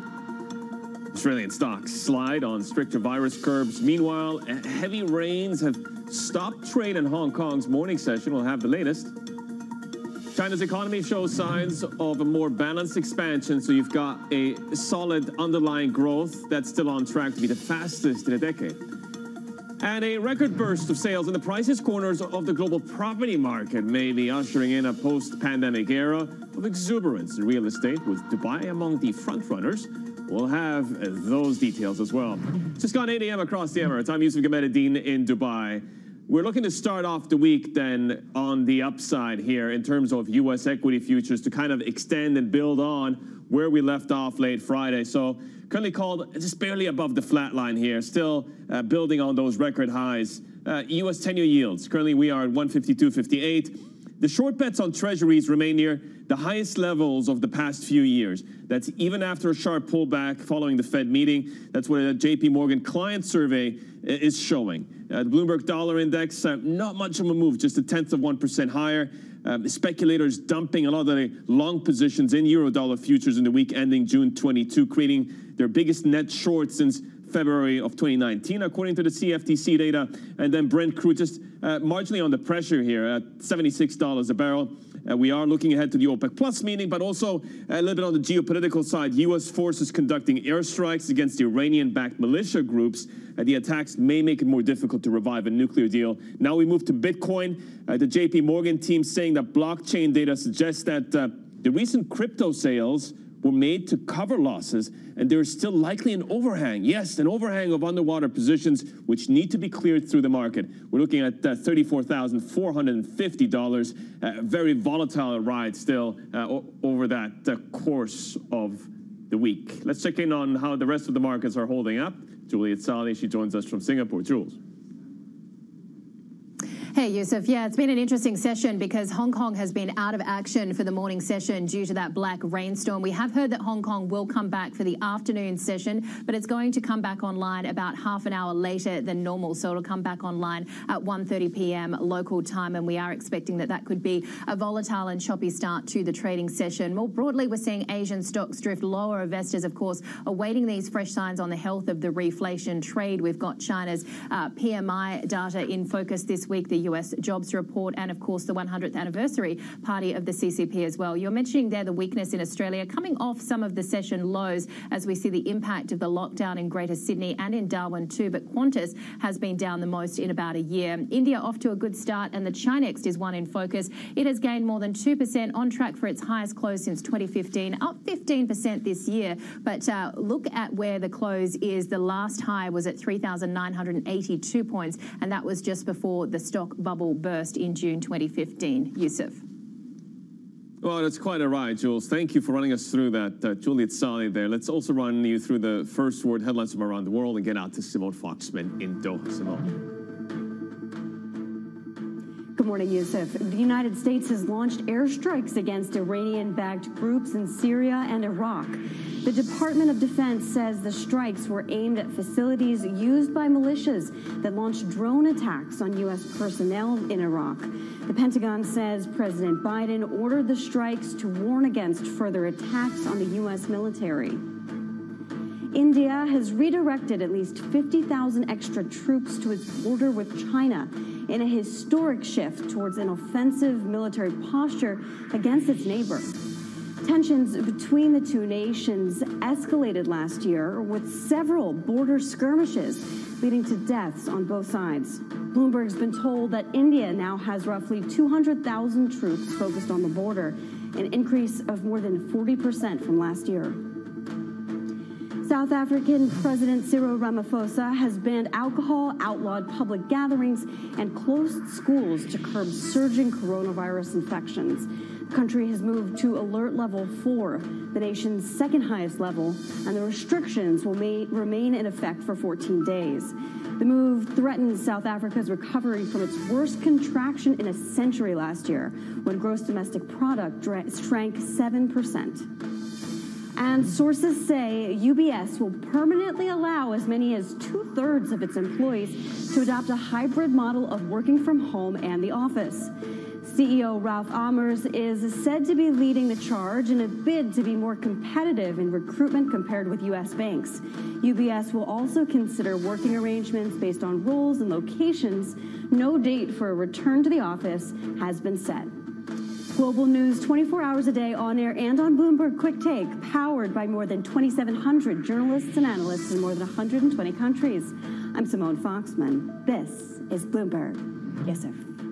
Thanks, Simone. Two thirds seems like a lot, but uh, I'm not in a position to decide. Let's get back to our top story. Stocks are steady then near record highs to start the week as anxiety over the Fed's hawkish tilt eases. But investors can add another voice to the 2022 rate hike club. You've got the Boston Fed president, Eric Rosengren. He says a liftoff could come as soon as late next year as the labor market reaches full employment and inflation hits target.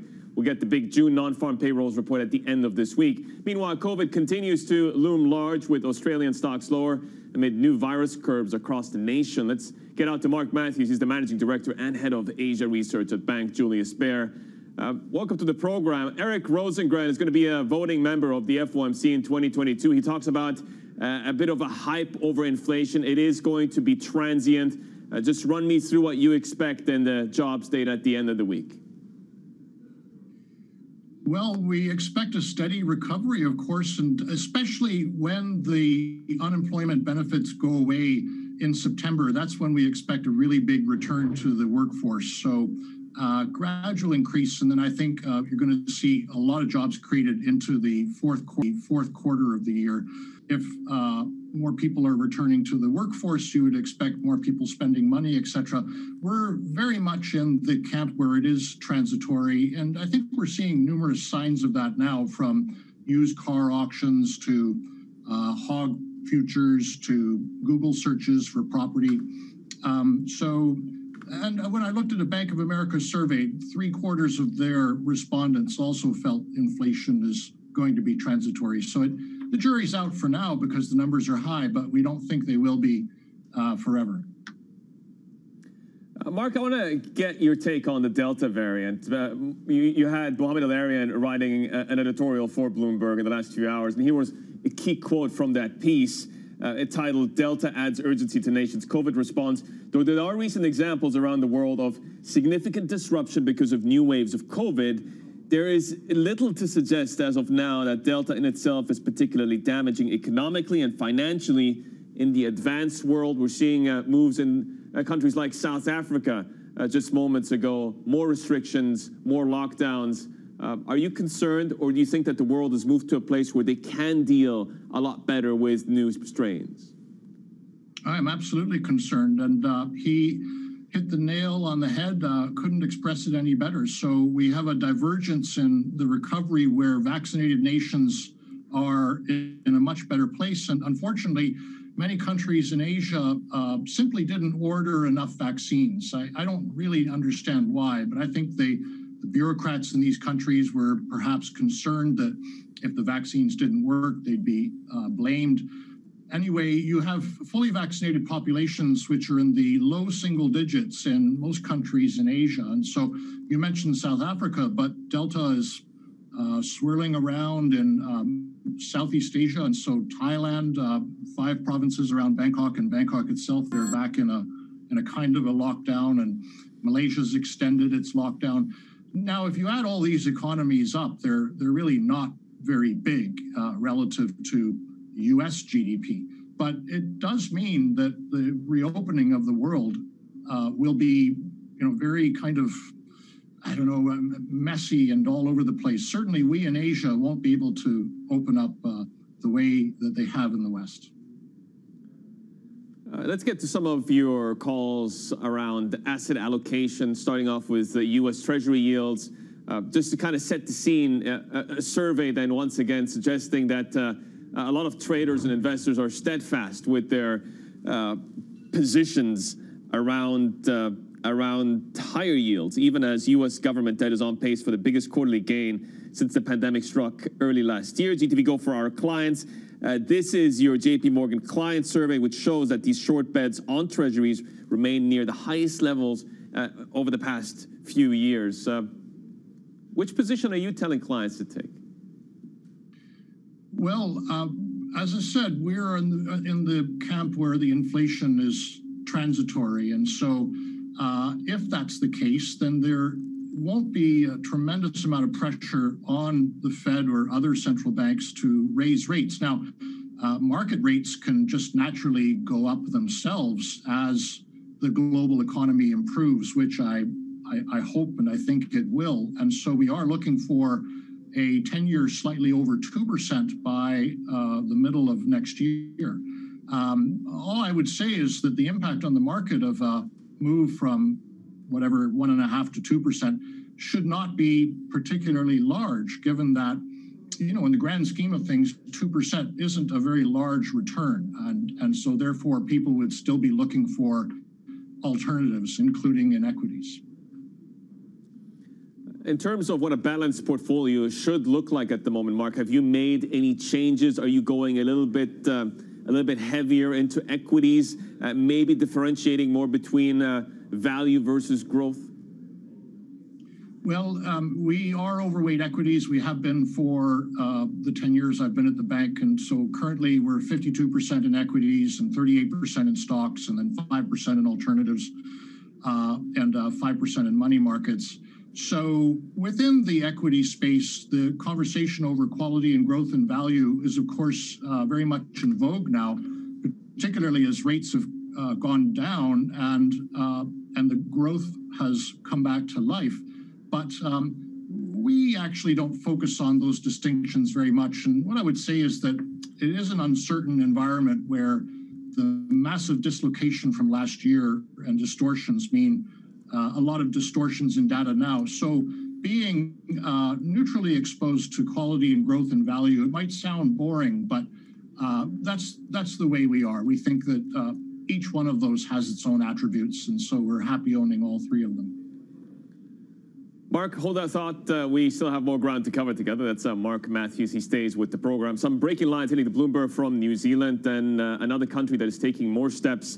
Uh, here, they are considering new tools to combat risk. That is from New Zealand's Ardern. And she also says that uh, the government may make uh, the QR app use compulsory in high risk areas. the New Zealand dollar at the moment intraday uh, largely unchanged, but we will keep a very close eye on the story for you. Here is what's coming up next, a bit of a preview. Early indications are pointing to a more balanced performance in June for China as investors spurn blue chip names in favor of small cap growth shares. We'll uh, break that down next. This is Bloomberg.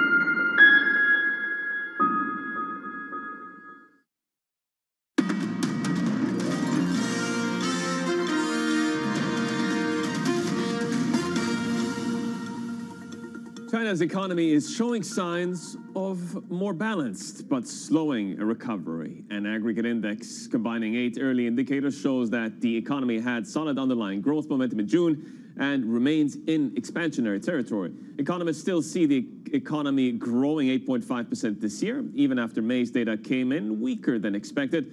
That would be the fastest annual growth in a decade. We'll get the key Chinese PMI figures later this week.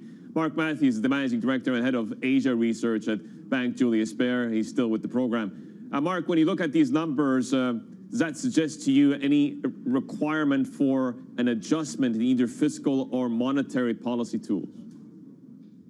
Not really, Yusuf. I think they're comfortable. But what I noticed, I mean, the whole market noticed it, Bloomberg wrote an article on it, was that uh, Thursday and Friday, and again this morning, the People's Bank of China have trebled their bond purchases in the open market over what they've been on a daily basis um, since March. So I mean, trebling sounds like a very big move. It's it's actually not compared to what it was in February and before that, but still, it's notable. And I think it might be a sign that on the margin, they are putting a little more money into the uh, financial market and therefore economy.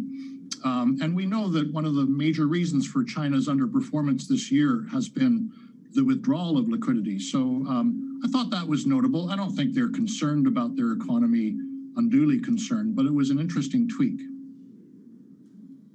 I look at the offshore and onshore yuan, and I begin to ask myself the question what is needed for the next leg up in terms of a stronger local currency? And the reality is that you've got a divergence, you've got domestic demand that is lagging uh, the recovery in industrial output and supply. Does that recovery need to be fulfilled for the currency to continue its move higher?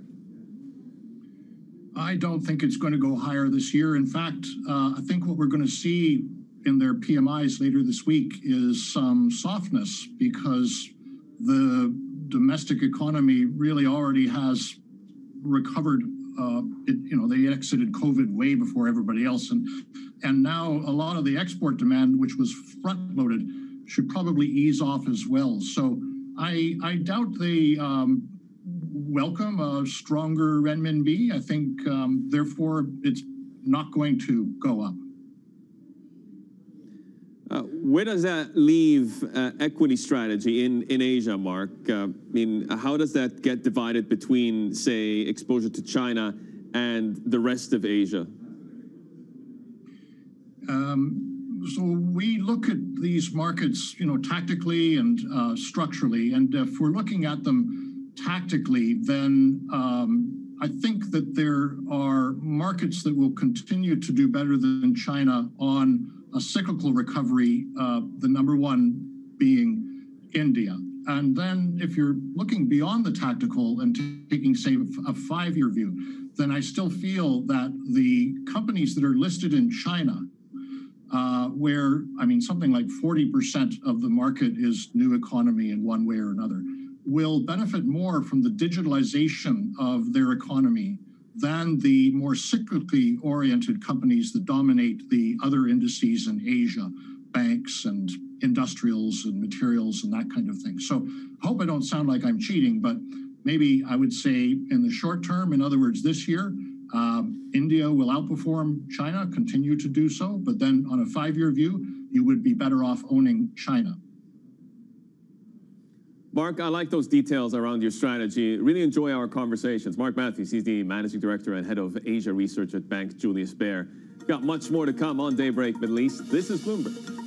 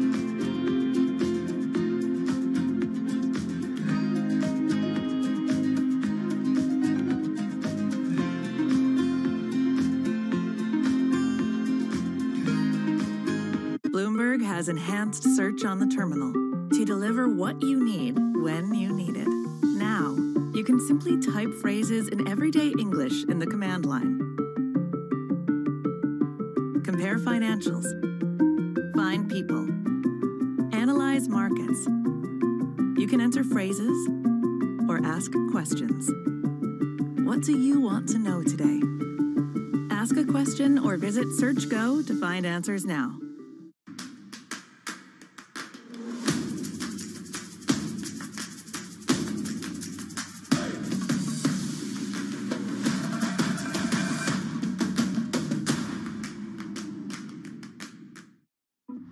Countries that entered this crisis with limited fiscal space, vulnerabilities, need to be supported for the benefit of the world. The transparency of the debt burden for the poorest countries needs to be increased. There needs to be fuller disclosure. Trading revenues coming in better than expected. Everything cash, $1.4 trillion of cash. One of the most notable aspects of this report that was stellar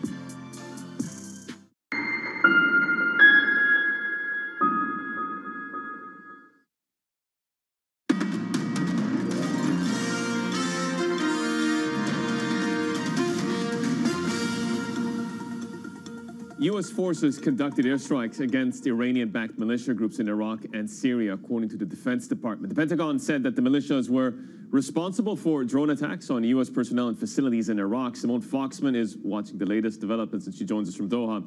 Simone, uh, just run us through then uh, some of some of the key facts that have emerged so far. Yeah, Yusuf, clearly this is a developing story, but those uh, airstrikes apparently targeting two locations in Syria, one in Iraq. These were described as operational and storage facilities. Uh, and of course, as you mentioned, uh, blamed for uh, drone attacks uh, on U.S. personnel in Iraq. John Kirby, the U.S. Uh, State Department spokesperson, saying that this is meant to send a message of deterrence, um, but underscoring that the common denominator here was Iranian backed militias. This comes at a particularly fragile time for talks about a return to the 2015 nuclear deal, even though militias and Iran's um, involvement in the broader region aren't really the subject of those talks. Um, it could um, potentially delay talks that have already dragged on, so we'll look for signs of that. Note that the Iran has not yet renewed a temporary pact with the UN's nuclear monitoring agency. That that's also something uh, that's potentially fraught this week. And of course, we are watching how Iran's new president, who takes office, Ebrahim Raisi, uh, in August, will respond to these airstrikes. And then to the markets, uh, because you got Qatar Petroleum, that the company is in the debt market and what could be one of the largest corporate bond sales this year. What exactly is coming on offer? Yeah, absolutely. This is hotly watched because um, we've reported that this bond sale could add up to seven to ten billion dollars. Uh, no details yet on the exact uh, overall issuance uh, figure. What we do understand is that on offer are five, ten, and twenty-year dollar bonds. Also, a thirty-year Formosa bond.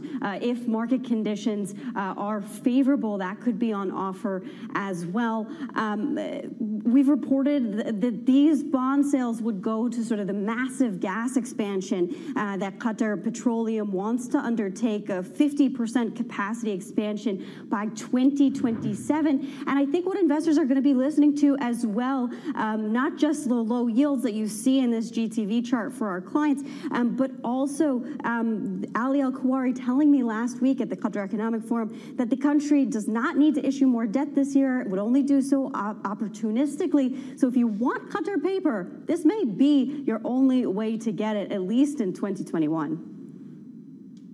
I'm at the edge of my seat. Uh, we've also gotten bullish calls from Morgan Stanley and HSBC on Dubai real estate. Now, new data from Knight Frank that could add to that fervor. Uh, but it's a, a very specific part of the market, isn't it? Yeah, bond issuance exciting. Also, ultra luxury sales of real estate in Dubai uh, exciting. According to Knight Frank, there were 22 sales of properties in Dubai worth more than $10 million as in just the first uh, few months of this year. That exceeds the total, total number of sales in that category um, for all of 2020. There were 19 last year and adds up to $770 million in the first five months of this year.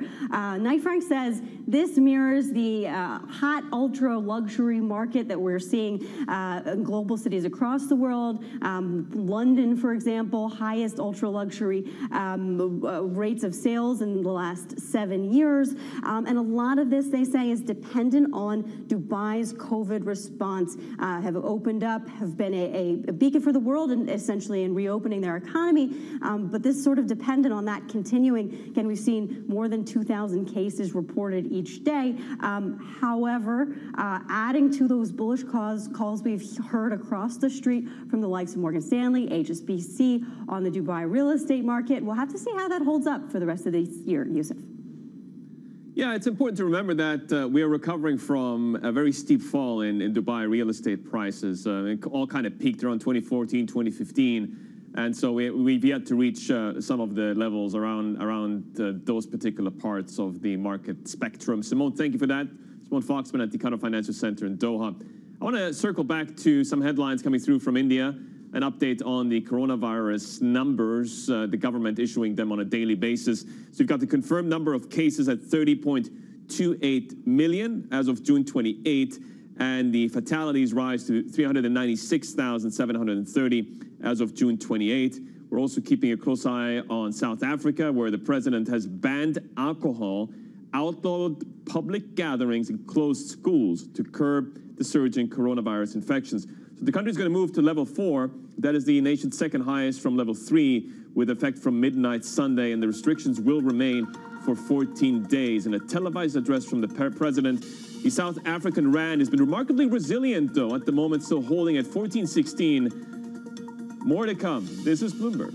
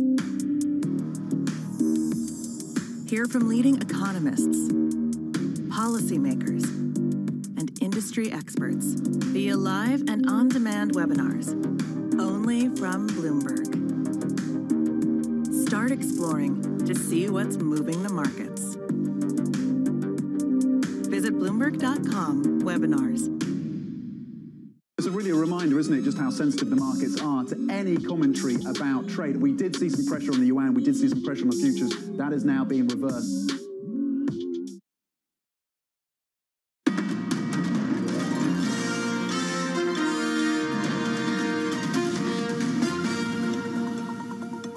This is Bloomberg Daybreak Middle East. Here are our top stories this morning. U.S. equity futures edge higher after the S&P 500's best week since February. As investors prepare for Friday's jobs data, Eric Rosengren says liftoff could come as soon as late 2022. Australian stocks slide on strict virus curbs. Meanwhile, heavy rains have stopped trade in Hong Kong's morning session. China's economy shows signs of a more balanced expansion with solid underlying growth still on track to be the fastest in a decade. And a record burst of sales in the priciest corners of the global property market may be the ushering in of a post-pandemic era of exuberance in real estate, with Dubai among the frontrunners. We'll have the details. Let's circle back to the market action and see how the session has evolved. It has been eventful, as always. Juliette Saly has the highlights for us from our Singapore studio. Jules.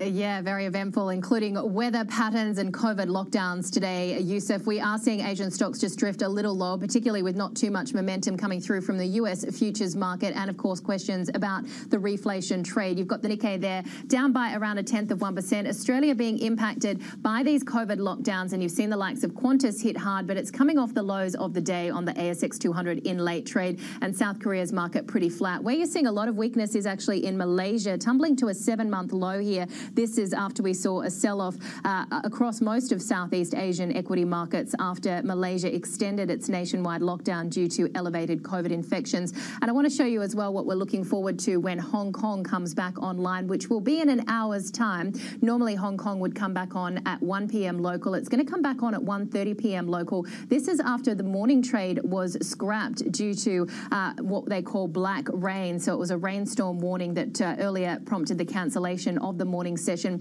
Looking like we could see a little bit of a pop coming through in terms of the futures index after we had a pretty good session on Friday, but uh, we are expecting quite a bit of volatility due to the fact that the morning session was scrapped, Yusuf. Uh, we were earlier talking to Mark Matthews, who said that uh, on a structural basis, he was still very much uh, bullish on uh, China, uh, Chinese equities specifically over the course of five years. But tactically, it wasn't really going to be his play. Uh, you're looking at tech stocks uh, in the country mm. exactly. What's the story? Yeah, an extraordinary rally coming through in the ChiNext index. It was up by about 2% on Friday and another 2% today, far outpacing the gains that we're seeing on the CSI 300. But remember, this is a market that uh, was very hot in 2015 as well. In fact, it was just under 4,000 points in early June 2015 at the peak of the stock bubble, and it's risen some 15% already this year. So, so far, this ChiNext has topped this year's closing high, which we saw in February, and certainly outperforming what we've seen on the overall CSI 300. So the economically sensitive value share equivalent down by about 5% over the uh, course of the year. And as I mentioned, we've been seeing the ChiNext up by some 15%. So certainly starting to get a few people nervous out there. Is it going to be a similar scenario of what we saw six years ago? Yusuf. Jules, I love those charts. Thank you for running us through those details. That's Juliette Saly there. Let's get to this part of the world again, because Saudi Aramco company has outlined plans to invest in blue hydrogen as the world shifts away from the dirtier forms of energy, but it says that it will take at least until the end of this decade before a global market for the fuel is developed. Hydrogen is seen as crucial to slowing climate change since uh, the thinking here is, or the theory at least, is that it emits no harmful greenhouse gases when it's burned. I spoke to Aramco's chief technology officer, Ahmad Al-Khowaiter blue ammonia, of course, is just uh, basically taking regular ammonia and capturing the CO2 uh, and uh, sequestering that. So uh, the, the, challenge for the supply isn't really uh, a big challenge in terms of uh, conventional investment for oil and gas. Really, the challenge is the demand. and so we will see those investments happen when the demand appears for blue ammonia and for other low carbon hydrogen. Uh, so that's really the challenge. And, and I would say that it's, uh, you know, looking at the markets today and the predictions that we've seen forecast for a blue ammonia, it's going to happen. Uh, the scale up isn't going to happen before 2030. We were not going to see large volumes of, of uh, blue ammonia before 2030. And that's based on the projections of both the Hydrogen Council and the International Energy Agency. Uh, there's quite a bit of uh, a lack of clarity around how, you know, how, how, how much of an investment is needed to, to get this up to scale and how big Aramco's ambitions are going to be in this space? So I can give you an idea of investments uh, based on you know what we've seen in the market and uh, what we what we understand of our own business. So for example, you know you've seen the green ammonia project announced in NEOM. The NEOM uh, announced a $4 billion uh, renewable project to supply hydrogen. This is public knowledge. Uh, so that's about $4 billion for about a million tons of ammonia, uh, and that's without the electrolyzers and other equipment. So roughly uh, a $4 billion for about a million tons of ammonia, which is equivalent to about uh, 12 to 15,000 barrels a day of oil. So that's the kind of energy we're talking about, investment around this uh, decarbonized energy source that we're calling ammonia or uh, hydrogen, green ammonia. blue ammonia projects are similar to natural gas projects, but with the addition of uh, the uh, carbon capture sequestration part. Uh, and that carbon capture sequestration part ranges, uh, you know, around a billion dollars for every million sure. tons of ammonia. That's a kind of, kind of, so it's about a fifth of the investment of green ammonia, capital-wise. Yeah. Uh, this is kind of high-level numbers, but it gives you a feeling for what's the difference in co capital cost between uh, the blue ammonia projects uh, that we would be looking at uh, and some of the green ammonia projects that are being announced around the world.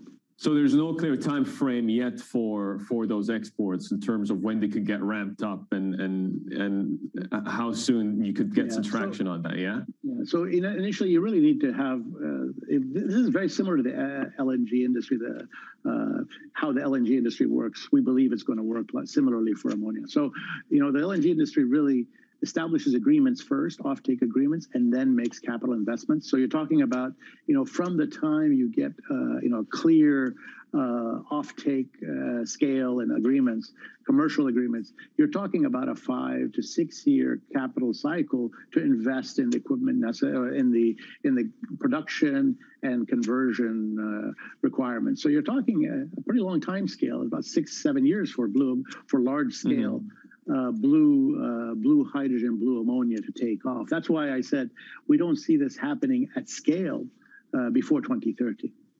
Uh, in terms of what Aramco is doing uh, broadly, so we're seeing energy companies they're trying to reduce their carbon footprint, and clearly Aramco is experimenting with new ideas. I'm wondering whether solar or wind plants in Saudi or international are on the table at all. Uh, we are evaluating all options to reduce emissions and uh, basically provide sustainable energy. Uh, and so we look at, we are experimenting and we have actually developed a number of renewables projects within uh, our own business. And we are looking at uh, the use of renewables, increasing the use of renewables in our business. Uh, and it'll, but it'll have to be competitive economically and, and renewables are up to a point quite competitive today. Why is Aramco not getting involved with, with green hydrogen and only with blue hydrogen if you are open to all these other ideas? Absolutely. No, we're, we never ruled out any type of hydrogen. We don't even like the term green or blue. We prefer low carbon mm-hmm. hydrogen.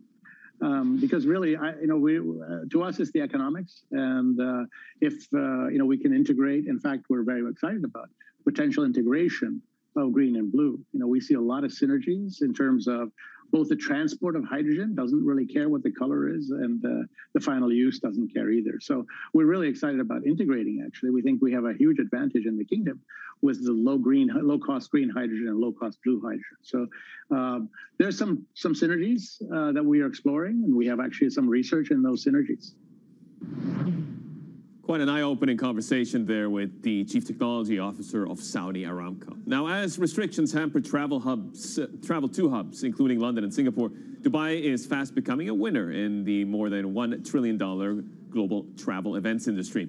The Emirate plans to host one of the biggest gas conferences and you have an African Investor Summit this year, as well as cricket's T20 World Cup.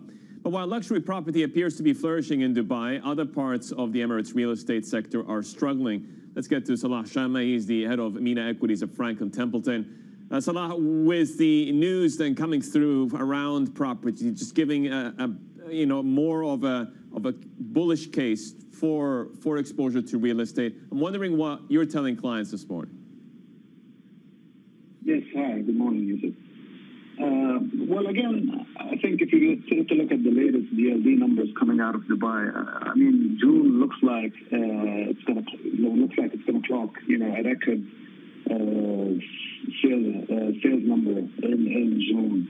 Um, more than 11 billion in sales uh, happened, which again is a continuation of the momentum and demand that we're seeing for real estate uh, in Dubai. I think when you take a look at the residential real estate uh, numbers, you'll see that you know Emaar Development, which probably is the largest uh, uh, largest in, in, in, Dubai, has announced you know record sales year to date, uh, and again a testament to Dubai's success in positioning itself as an attractive investment and living destination for global investors. So we see a continuation of the same. We expect Emaar Development, which is a proxy on the market, to probably clock in uh, uh, or triple its sales in 2021 versus uh, 2020. Uh, and to be significantly right. higher than the sales that we've seen in 2019. We saw Mubadala raise uh, about uh, three three billion dirhams from the Al Yahsat IPO. Uh, you're saying you're expecting more listings. Uh, where exactly, uh, and and how how should investors position around that? Yeah, well, we, we do. We, I mean, the IPO pipeline in MENA, we expect it to be quite healthy, uh, specifically in Abu Dhabi. As you mentioned, yes, that now is coming to market. We're expecting two further IPOs to come from Abu Dhabi, mainly driven by uh, ADNOC, that's listing probably uh, by the end of the year, uh, Fertiglobe, as well as ADNOC Drilling. We're also expecting further IPOs coming out of Saudi, probably three to four listings, two of them being quite meaningful with SDC and Tadawul coming to market. And lastly, uh, we do expect uh, three to four IPOs coming out of Egypt, but that will be contingent on market uh, dynamics and kind of uh, where the market is, and market conditions. Uh, in terms of other opportunities for investors, you highlight uh, companies that are heavily involved with urea and DAP. Which ones stand out and why?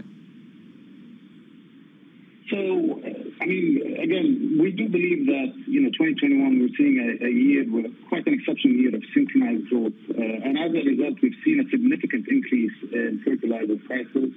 And that's uh, on the back of soaring crop prices, tight supply, as well as increased Chinese demand. Uh, we've seen urea prices and DAP prices increase by more than 50% year to date. And that bodes quite well for MENA uh, fertilizer companies because, you know, as you know, MENA has one of the lowest cost producers and benefits from significantly lower feedstock prices. So in 2021, we expect uh, significant increase in earnings for companies such as SAFCO, and this is Qatar, SABIC, and Ma'aden, to name a few. Uh, you wrote quite a bit in your research about uh, the Egyptian equity dilemma, and uh, you talk about how there's a need for uh, better and clearer governance and, and, for more money and capital to, to, get deployed. Um, an underused opportunity, but to what extent could political risk be overshadowing maybe some of uh, those uh, some of those gaps? Would you say? Look, the political situation, or at least the political issue with Ethiopia, definitely is a concern. However, we don't think at the moment that that's what's driving the underperformance in the market. Uh, I think, you know, Egypt is caught in what we think is a catch-22 where uh, international investors are uh, attracted to kind of the fundamentals that we're seeing in the Egyptian economy. However, the, the issue that we're facing is the lack of liquidity, uh, the ability to invest at scale in Egypt. So I think that's what that's one of the issues, and I think we're caught in this liquidity cycle that's preventing international capital to come and invest in, in, in the market. And as I mentioned, I mean, if you take a look at the fundamentals and the earning growth that we're seeing in the market, uh, it's quite attractive. The valuations right now are, you know, at a significant discount to 10-year averages, uh, which is quite reflection, uh, given, as I said, uh, the, the, the positive growth outlook. Salah, good to see you this morning. Thank you for those highlights. That's uh, Salah Shamma. He's the head of MENA Equities at Franklin Templeton. Much more to come. This is Bloomberg.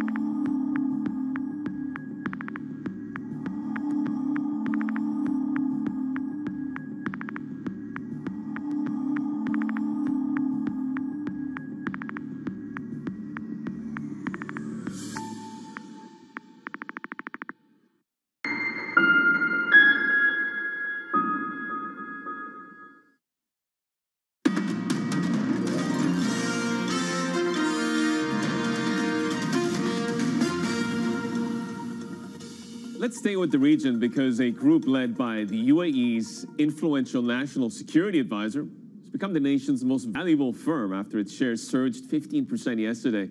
For more on this, we're now joined by our Middle East markets expert, Farah Elbahrawy. Farah, so what exactly has come to light then around the company and around its investors? Good morning, Youssef. Yes, IHC yesterday surged 15%, as you said, after its unit Alpha Dhabi Holding uh, had a direct listing on the Abu Dhabi Securities Exchange. Um, IHC's market cap rocketed to 202 billion dirhams. That made it the biggest publicly listed company here in the UAE. Analysts are saying that even because this company has so many cross holdings, that the fair value could be even more than that, and it's a bit difficult to even pinpoint what it really is. Uh, on the other hand, you know, the stock has been quadrupling over the, the past year, and not a lot of people can really pinpoint why. It is owned by the uh, UAE's the national, or chaired rather by the UAE's national security advisor, as you said. It is an interesting space to watch, and I'm sure you and I will be speaking about it again very soon. Yeah, everybody likes a, little bit of mystery, but not if it drags on for too long. Saudi shares, in the meantime, climbed for seven weeks amid a wave of government projects. Uh, what are they exactly, and which sectors have been able to benefit off the back of that? Is it sort of your traditional commodity plays, materials? Mm-hmm. Yes, um, construction construction shares particularly have been a beneficiary of a government push uh, in the Saudi business space. You know, uh, Crown Prince Mohammed bin Salman has announced a wave of new government programs, such as the Sharik program, which aims to release up to 5 trillion uh, Saudi riyals of private investment uh, in Saudi Arabia, the Nitaqat program, which is a Saudization program. And a wave of different uh, construction projects. So we've seen these shares rally, such as cement stocks and steel stocks, and even construction linked stocks like um, air conditioning um, stocks. They've been rallying as well. So it's definitely an interesting space to watch. The index has been up for seven weeks. It started this week off on a strong foot as well, and it's trading close to 2008 levels. Um, and who knows where it's going next as more and more government government projects are announced. Meanwhile, uh, underperforming Egyptian shares are having a, a, bit of a break, so they've been rising for five days. Uh, I mean, we talked with Salah Sham uh, from Franklin Templeton just moments ago a, little mm -hmm. bit mm-hmm. about the lack of liquidity and sort of the, mm-hmm. the gap mm -hmm. in the market around price discovery. But uh, is there a potential that you're seeing and you're hearing from investors to close that gap compared to other peers in the region? Well, yes, Egyptian stocks have been time and time again this year popping up as one of the worst performance performers globally. Um, that is in part due to you know the lack of liquidity in the stock market. Investors do like to focus on the fixed income space in Egypt. This is really attractive, but also there has been some geopolitical tension, uh, and the valuations have become really cheap in the market. So some analysts are saying that um, you know, the market is sort of coming to its senses and um, investors are starting to notice how cheap the valuations are. So this is why we're seeing this strength recently, but also earnings has been a driver as Yield reported that it swung to a profit from a loss in the first quarter. So it rallied. There has been a deal, 9 billion uh, pound deal with Talaat Moustafa group. That's also helped rally, uh, rally in the shares. So a few different factors, but it's definitely coming off a really low point compared to really regional and global peers. Yeah, and then there's the elephant in the room with the political risks around tensions with Ethiopia. Credit default swaps, uh, as of uh, the last 10 mm -hmm. minutes, have mm -hmm. largely remained stable for five-year Egyptian government debt mm -hmm. in mm-hmm. terms of insurance. Farah, thank you. Farah Elbahrawy, our Middle East mm-hmm. markets and equities reporter. Here's what's up next. The only foreign scientist to undertake research at the Wuhan Institute of Virology is speaking out about her time at the lab and the possibility that it could be the source of COVID 19. That's next. This is Bloomberg.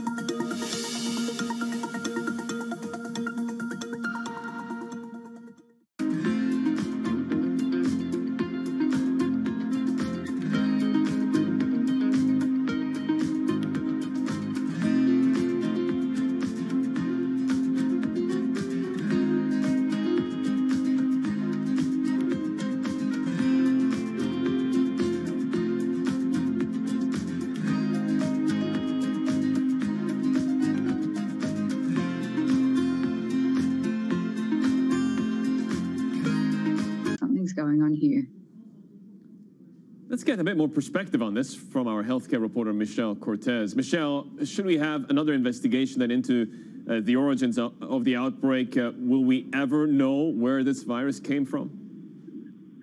Well, we certainly hope they were going to be able to figure out eventually where this virus came from. Obviously, we don't know now, and the efforts that we've made so far have not been successful. We even scientists like Danielle Anderson are saying that they do believe that we need to get back in there and to look more deeply. The World Health Organization has said that, and others are calling for it as well. Of course, the problem is the politics at this point. The Chinese government has been reluctant to just let foreigners come in and basically dig through all their paperwork, especially when there's been accusations that have been unfounded at this point. So, really, everybody does need to take a step back and look more broadly for the purposes of transparency to get to the bottom of this and not to be assigning blame, but to be figuring out where it came from. It is important to keep in mind that it took a decade to figure out where SARS originated from. So it can be done, but it might be a long haul. Okay, so what does the scientist tell us about how the lab was run? Uh, she did she see any signs of an infection? Would she have been able to see infections if the virus was circulating in or came from the lab? So Danielle Anderson has worked in these high security biocontainment labs across the world, you know, in, in Australia, in Singapore, in Europe.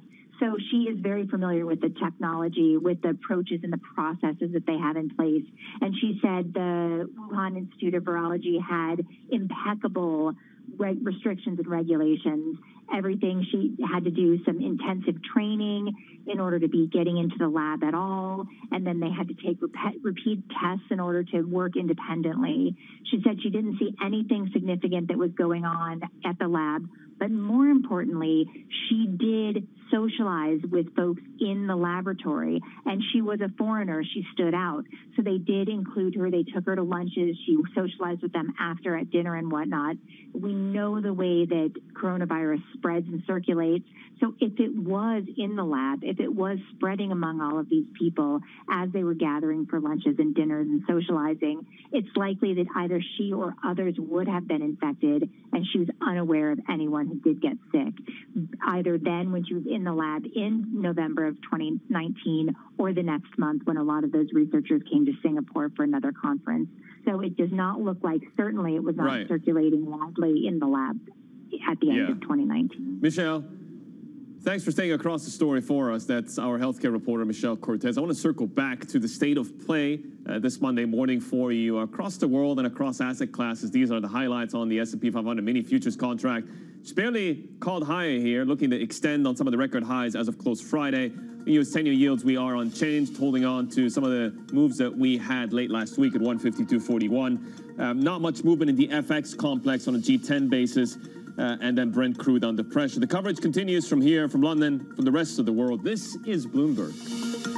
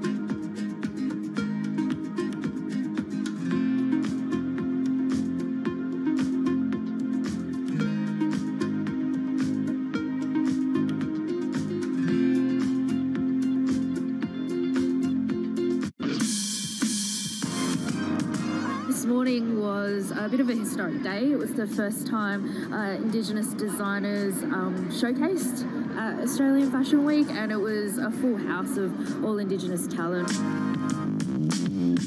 It made me so proud. Absolutely beautifully done. I mean, the designers, the pieces on there. I think just about every model or every second model was like, oh, I want that, I want that. So each of my pieces, I we have our signature prints, which are um, each tell a story and is a, definitely a contemporary um, way of uh, experiencing Aboriginal culture. And then each of my pieces are named after, yeah, inspiring Aboriginal and Torres Strait Islander women. So when the customer buys something, they're learning about the story, they're learning about women. I would hope that it isn't tokenistic, and I would hope that it's not done to tick a box. Um, and so, you know, those things have to be, you have to be mindful about that. But um, yeah, I think it's incredible what's been achieved so far. But you know, there's always room for growth. I think the elevation of Aboriginal and Torres Strait Islander people in these spaces, um, it's it's long overdue, and it's it's it's really powerful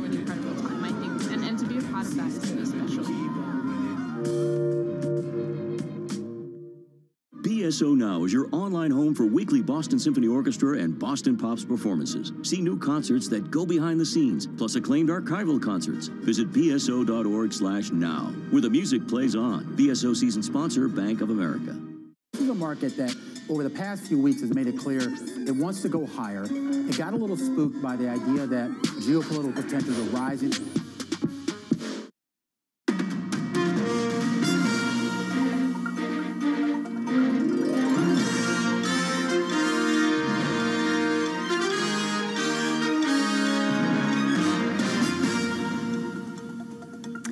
Everyone, from Bloomberg's European headquarters. It's 6 a.m. in the city of London. I'm Dani Burger with Yusuf Gamal El-Din beside me in Dubai. This is Bloomberg Daybreak Europe. Here are today's top stories. Variant concerns continue to mount from California to Sydney. South Africa raises its alert level. Stocks, though, little change. Treasuries holding losses. The UK joins the crypto crackdown. Regulators ban an affiliate of Binance, giving it until Wednesday to comply. Bitcoin trades higher. Plus, another twist in the re- return to the office story UBS splits with Wall Street, with two thirds of staff set to mix working at home and in the office permanently. Good morning, everyone. Good morning, Yusuf. So great to start this week beside you. Really a treat here. And when it comes to the market story, it really feels like resiliency is the word. You have concerns of the Delta variant, be it a new lockdown in South Africa, new restrictions, continued restrictions in Sydney, yet we're seeing a market that's just charting higher. We're seeing future positionings on the S&P 500 hit their highest in about a year. It just seems like there's not really a lot of concern there. Maybe we won't see Yeah. concern until we get to the end of the week in jobs numbers. I mean, look, I spent all of last week in the Swiss Alps, and as much as I and people nice. around me had a sense of normalcy, the reality is that we're seeing more and more countries take action to combat the Delta mm. variant. You mentioned South Africa. That really caught my attention for a number of reasons. They're locking down schools, they're banning out alcohol, and they're outlawing public gatherings as well. It's also on the mind of Mohamed El-Erian. Here's a key quote that stood out to me. He wrote this piece just a few hours ago. Uh, the recent examples around the world of significant disruptions because of new waves of COVID, with Bangladesh being the weekend's most striking example, there's basically little to suggest as of now that Delta in itself is particularly damaging economically and financially in the advanced world. Yeah, and, and I guess that makes sense why you would just sit on your hands if you're participating in this market. I mean, of course, you have to be worried about the Delta variant spread just as, as a citizen of this world, but does it creep through to the data? Michael, Michael Purves over at Tallbacken says that even if there is economic damage, you hide out by buying big tech. I mean, that's not exactly, you know, buying puts or, or, or taking shelter somewhere. Absolutely, and uh, we have, of course, a very, very busy week at, ahead in terms of economic data.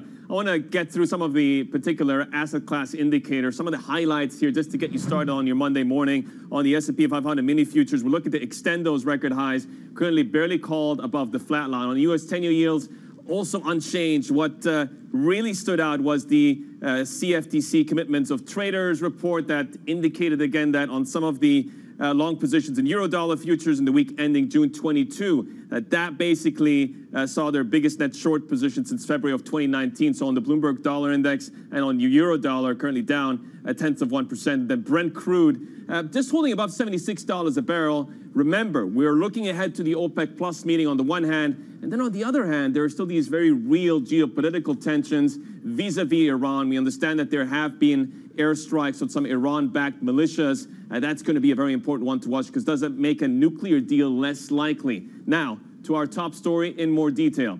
Concerns about the Delta variant are growing across the world. We talked about South Africa. The country has raised its alert level. Sydney, that's gone into a two-week lockdown to fight an outbreak of the variant. And just it raises further questions about the reopening of the economy. Joining us now for more is Bloomberg's Rachel Chang to kind of drill down into this. Uh, I mean, how is the world then facing the new variant here, Rachel?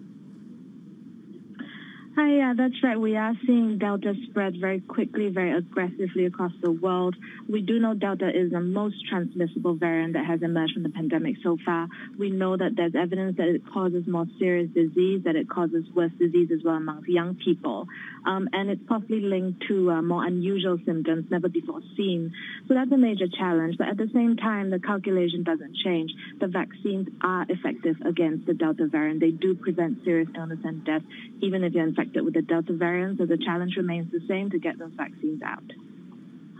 Rachel, thank you so much. Story will definitely stay on top of. Thanks to Bloomberg's Rachel Chang. Let's get more on this, though, with our guest host for this half hour. It's Eleanor, Eleanor Taylor Jolidon, co-head of Swiss and Global Equity at UBP. Eleanor, first off, thank you so much for joining us. And Yusuf and I were just discussing this resiliency in markets despite concerns about the Delta variant. Do these new surges of the variant change your outlook at all or, or change your positioning, rather, when it comes comes to global equities? No, it doesn't actually. I mean, for us, it's been very clear that we weren't going to wave a wand and that the um, the, the COVID nineteen was going to vanish. Um, we just are going to have to adapt and know how to live with uh, this unpleasant disease and um, distressing disease.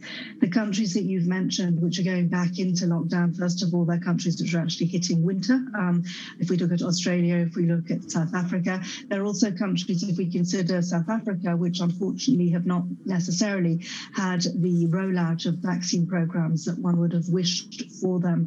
And if we look at equity markets and the major equity markets which concern investors, it tends to be in areas where the vaccine rollout has been stronger. And it does look, again, at those vaccine rollouts, if indeed Delta is uh, very infectious, that the vaccines do seem to have some effect upon it. And I think that would explain why equity markets don't seem to be overly concerned about um, Delta at the moment. But in terms of positioning, I think that any sensible investor will be yeah. uh, positioning, bearing in mind that um, that the, this this disease isn't going to go away. So you're going to have a sure. mix of reopening, but not a full blown reopening. Eleanor, but it's not just a developed market problem. As much as uh, a lot of the struggles are in developing nations, uh, the reality is that uh, at some point, uh, this is going to feed across. Uh, we live in an interconnected global economy. Uh, there's, there's nothing that says that it's purely going to be segregated. Is that something that could flow onto the shores of, say, the Fed or the ECB, that they're going to have to take that into consideration as well, that the conditions in societies outside of their primary markets are struggling? Wouldn't it be nice if they did take that into consideration? Um, I think that obviously, if the Delta variant or if the pandemic in general continues to be a pandemic for longer than what is currently in people's estimates, then we might see a slower move in terms of tightening uh, monetary conditions coming from some of the central banks. You're absolutely correct. Uh, the world is interconnected, but there are some parts of the world which are more interconnected than other parts of the world. And I'm afraid uh, that um, those more interconnected ways have found ways of dealing with the pandemic, and we perhaps have not been uh, as concerned as to um, the situation in the areas which are less connected or the parts of society which are less connected. Does that mean that we could see less volatility from here on out, uh, then potentially?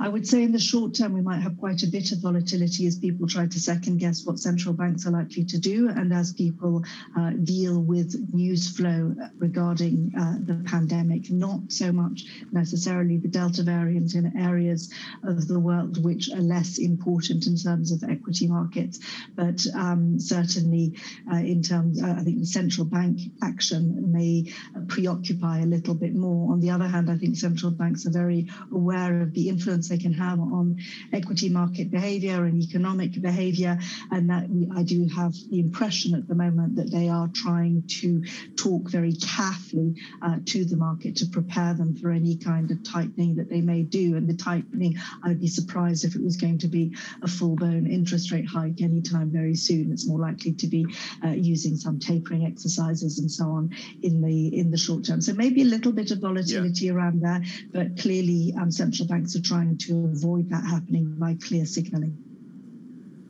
Uh, Eleanor, I was talking to Mark Matthews from UBS earlier, and he was saying there is little point to him around the debate of growth versus value. Uh, to him, it is best to just stick with quality, and both of them can be represented at this stage of the recovery in a balanced portfolio. Would you agree or disagree with that? I, I, think I was saying to one of your colleagues only a couple of weeks ago that um, factor investing is um, fraught with difficulties, and that's not something that I would necessarily choose to do myself. Um, very much in an echo of um, that person's comments, I would say that um, if you think about quality as being um, a signal of a company which is capable of creating value, so it's really investing in their business or through acquisitions in a way which will be value creative then clearly those are the kind of companies which withstand throughout any kind of economic cycle. One has to remember that a value investing is investing in a company which is desperate for some kind of economic action away from their own activities in order to have a decent performance. I don't find that a particularly attractive way of investing. Uh, so clearly, I would prefer those companies which are value creative, or uh, as your previous um, commentator was saying, quality would have a quality bias. Yes. Eleanor, hold that thought. We still have more ground to cover together. Eleanor Taylor Jolidon, UBP from UBP, stays with us. Uh, now let's get you the first word news with Simone Foxman. Simone. Hi, Yusuf. The U.S. has launched airstrikes against Iranian-backed groups in Syria and Iraq. The Pentagon says the strikes were aimed at facilities used by militias that launched drone attacks on U.S. personnel in Iraq and were intended to send a clear deterrent message. The UK's new health sec secretary says his top priority is ending the pandemic and getting the country back to normal. Former Chancellor Sajid Javid was named to the post after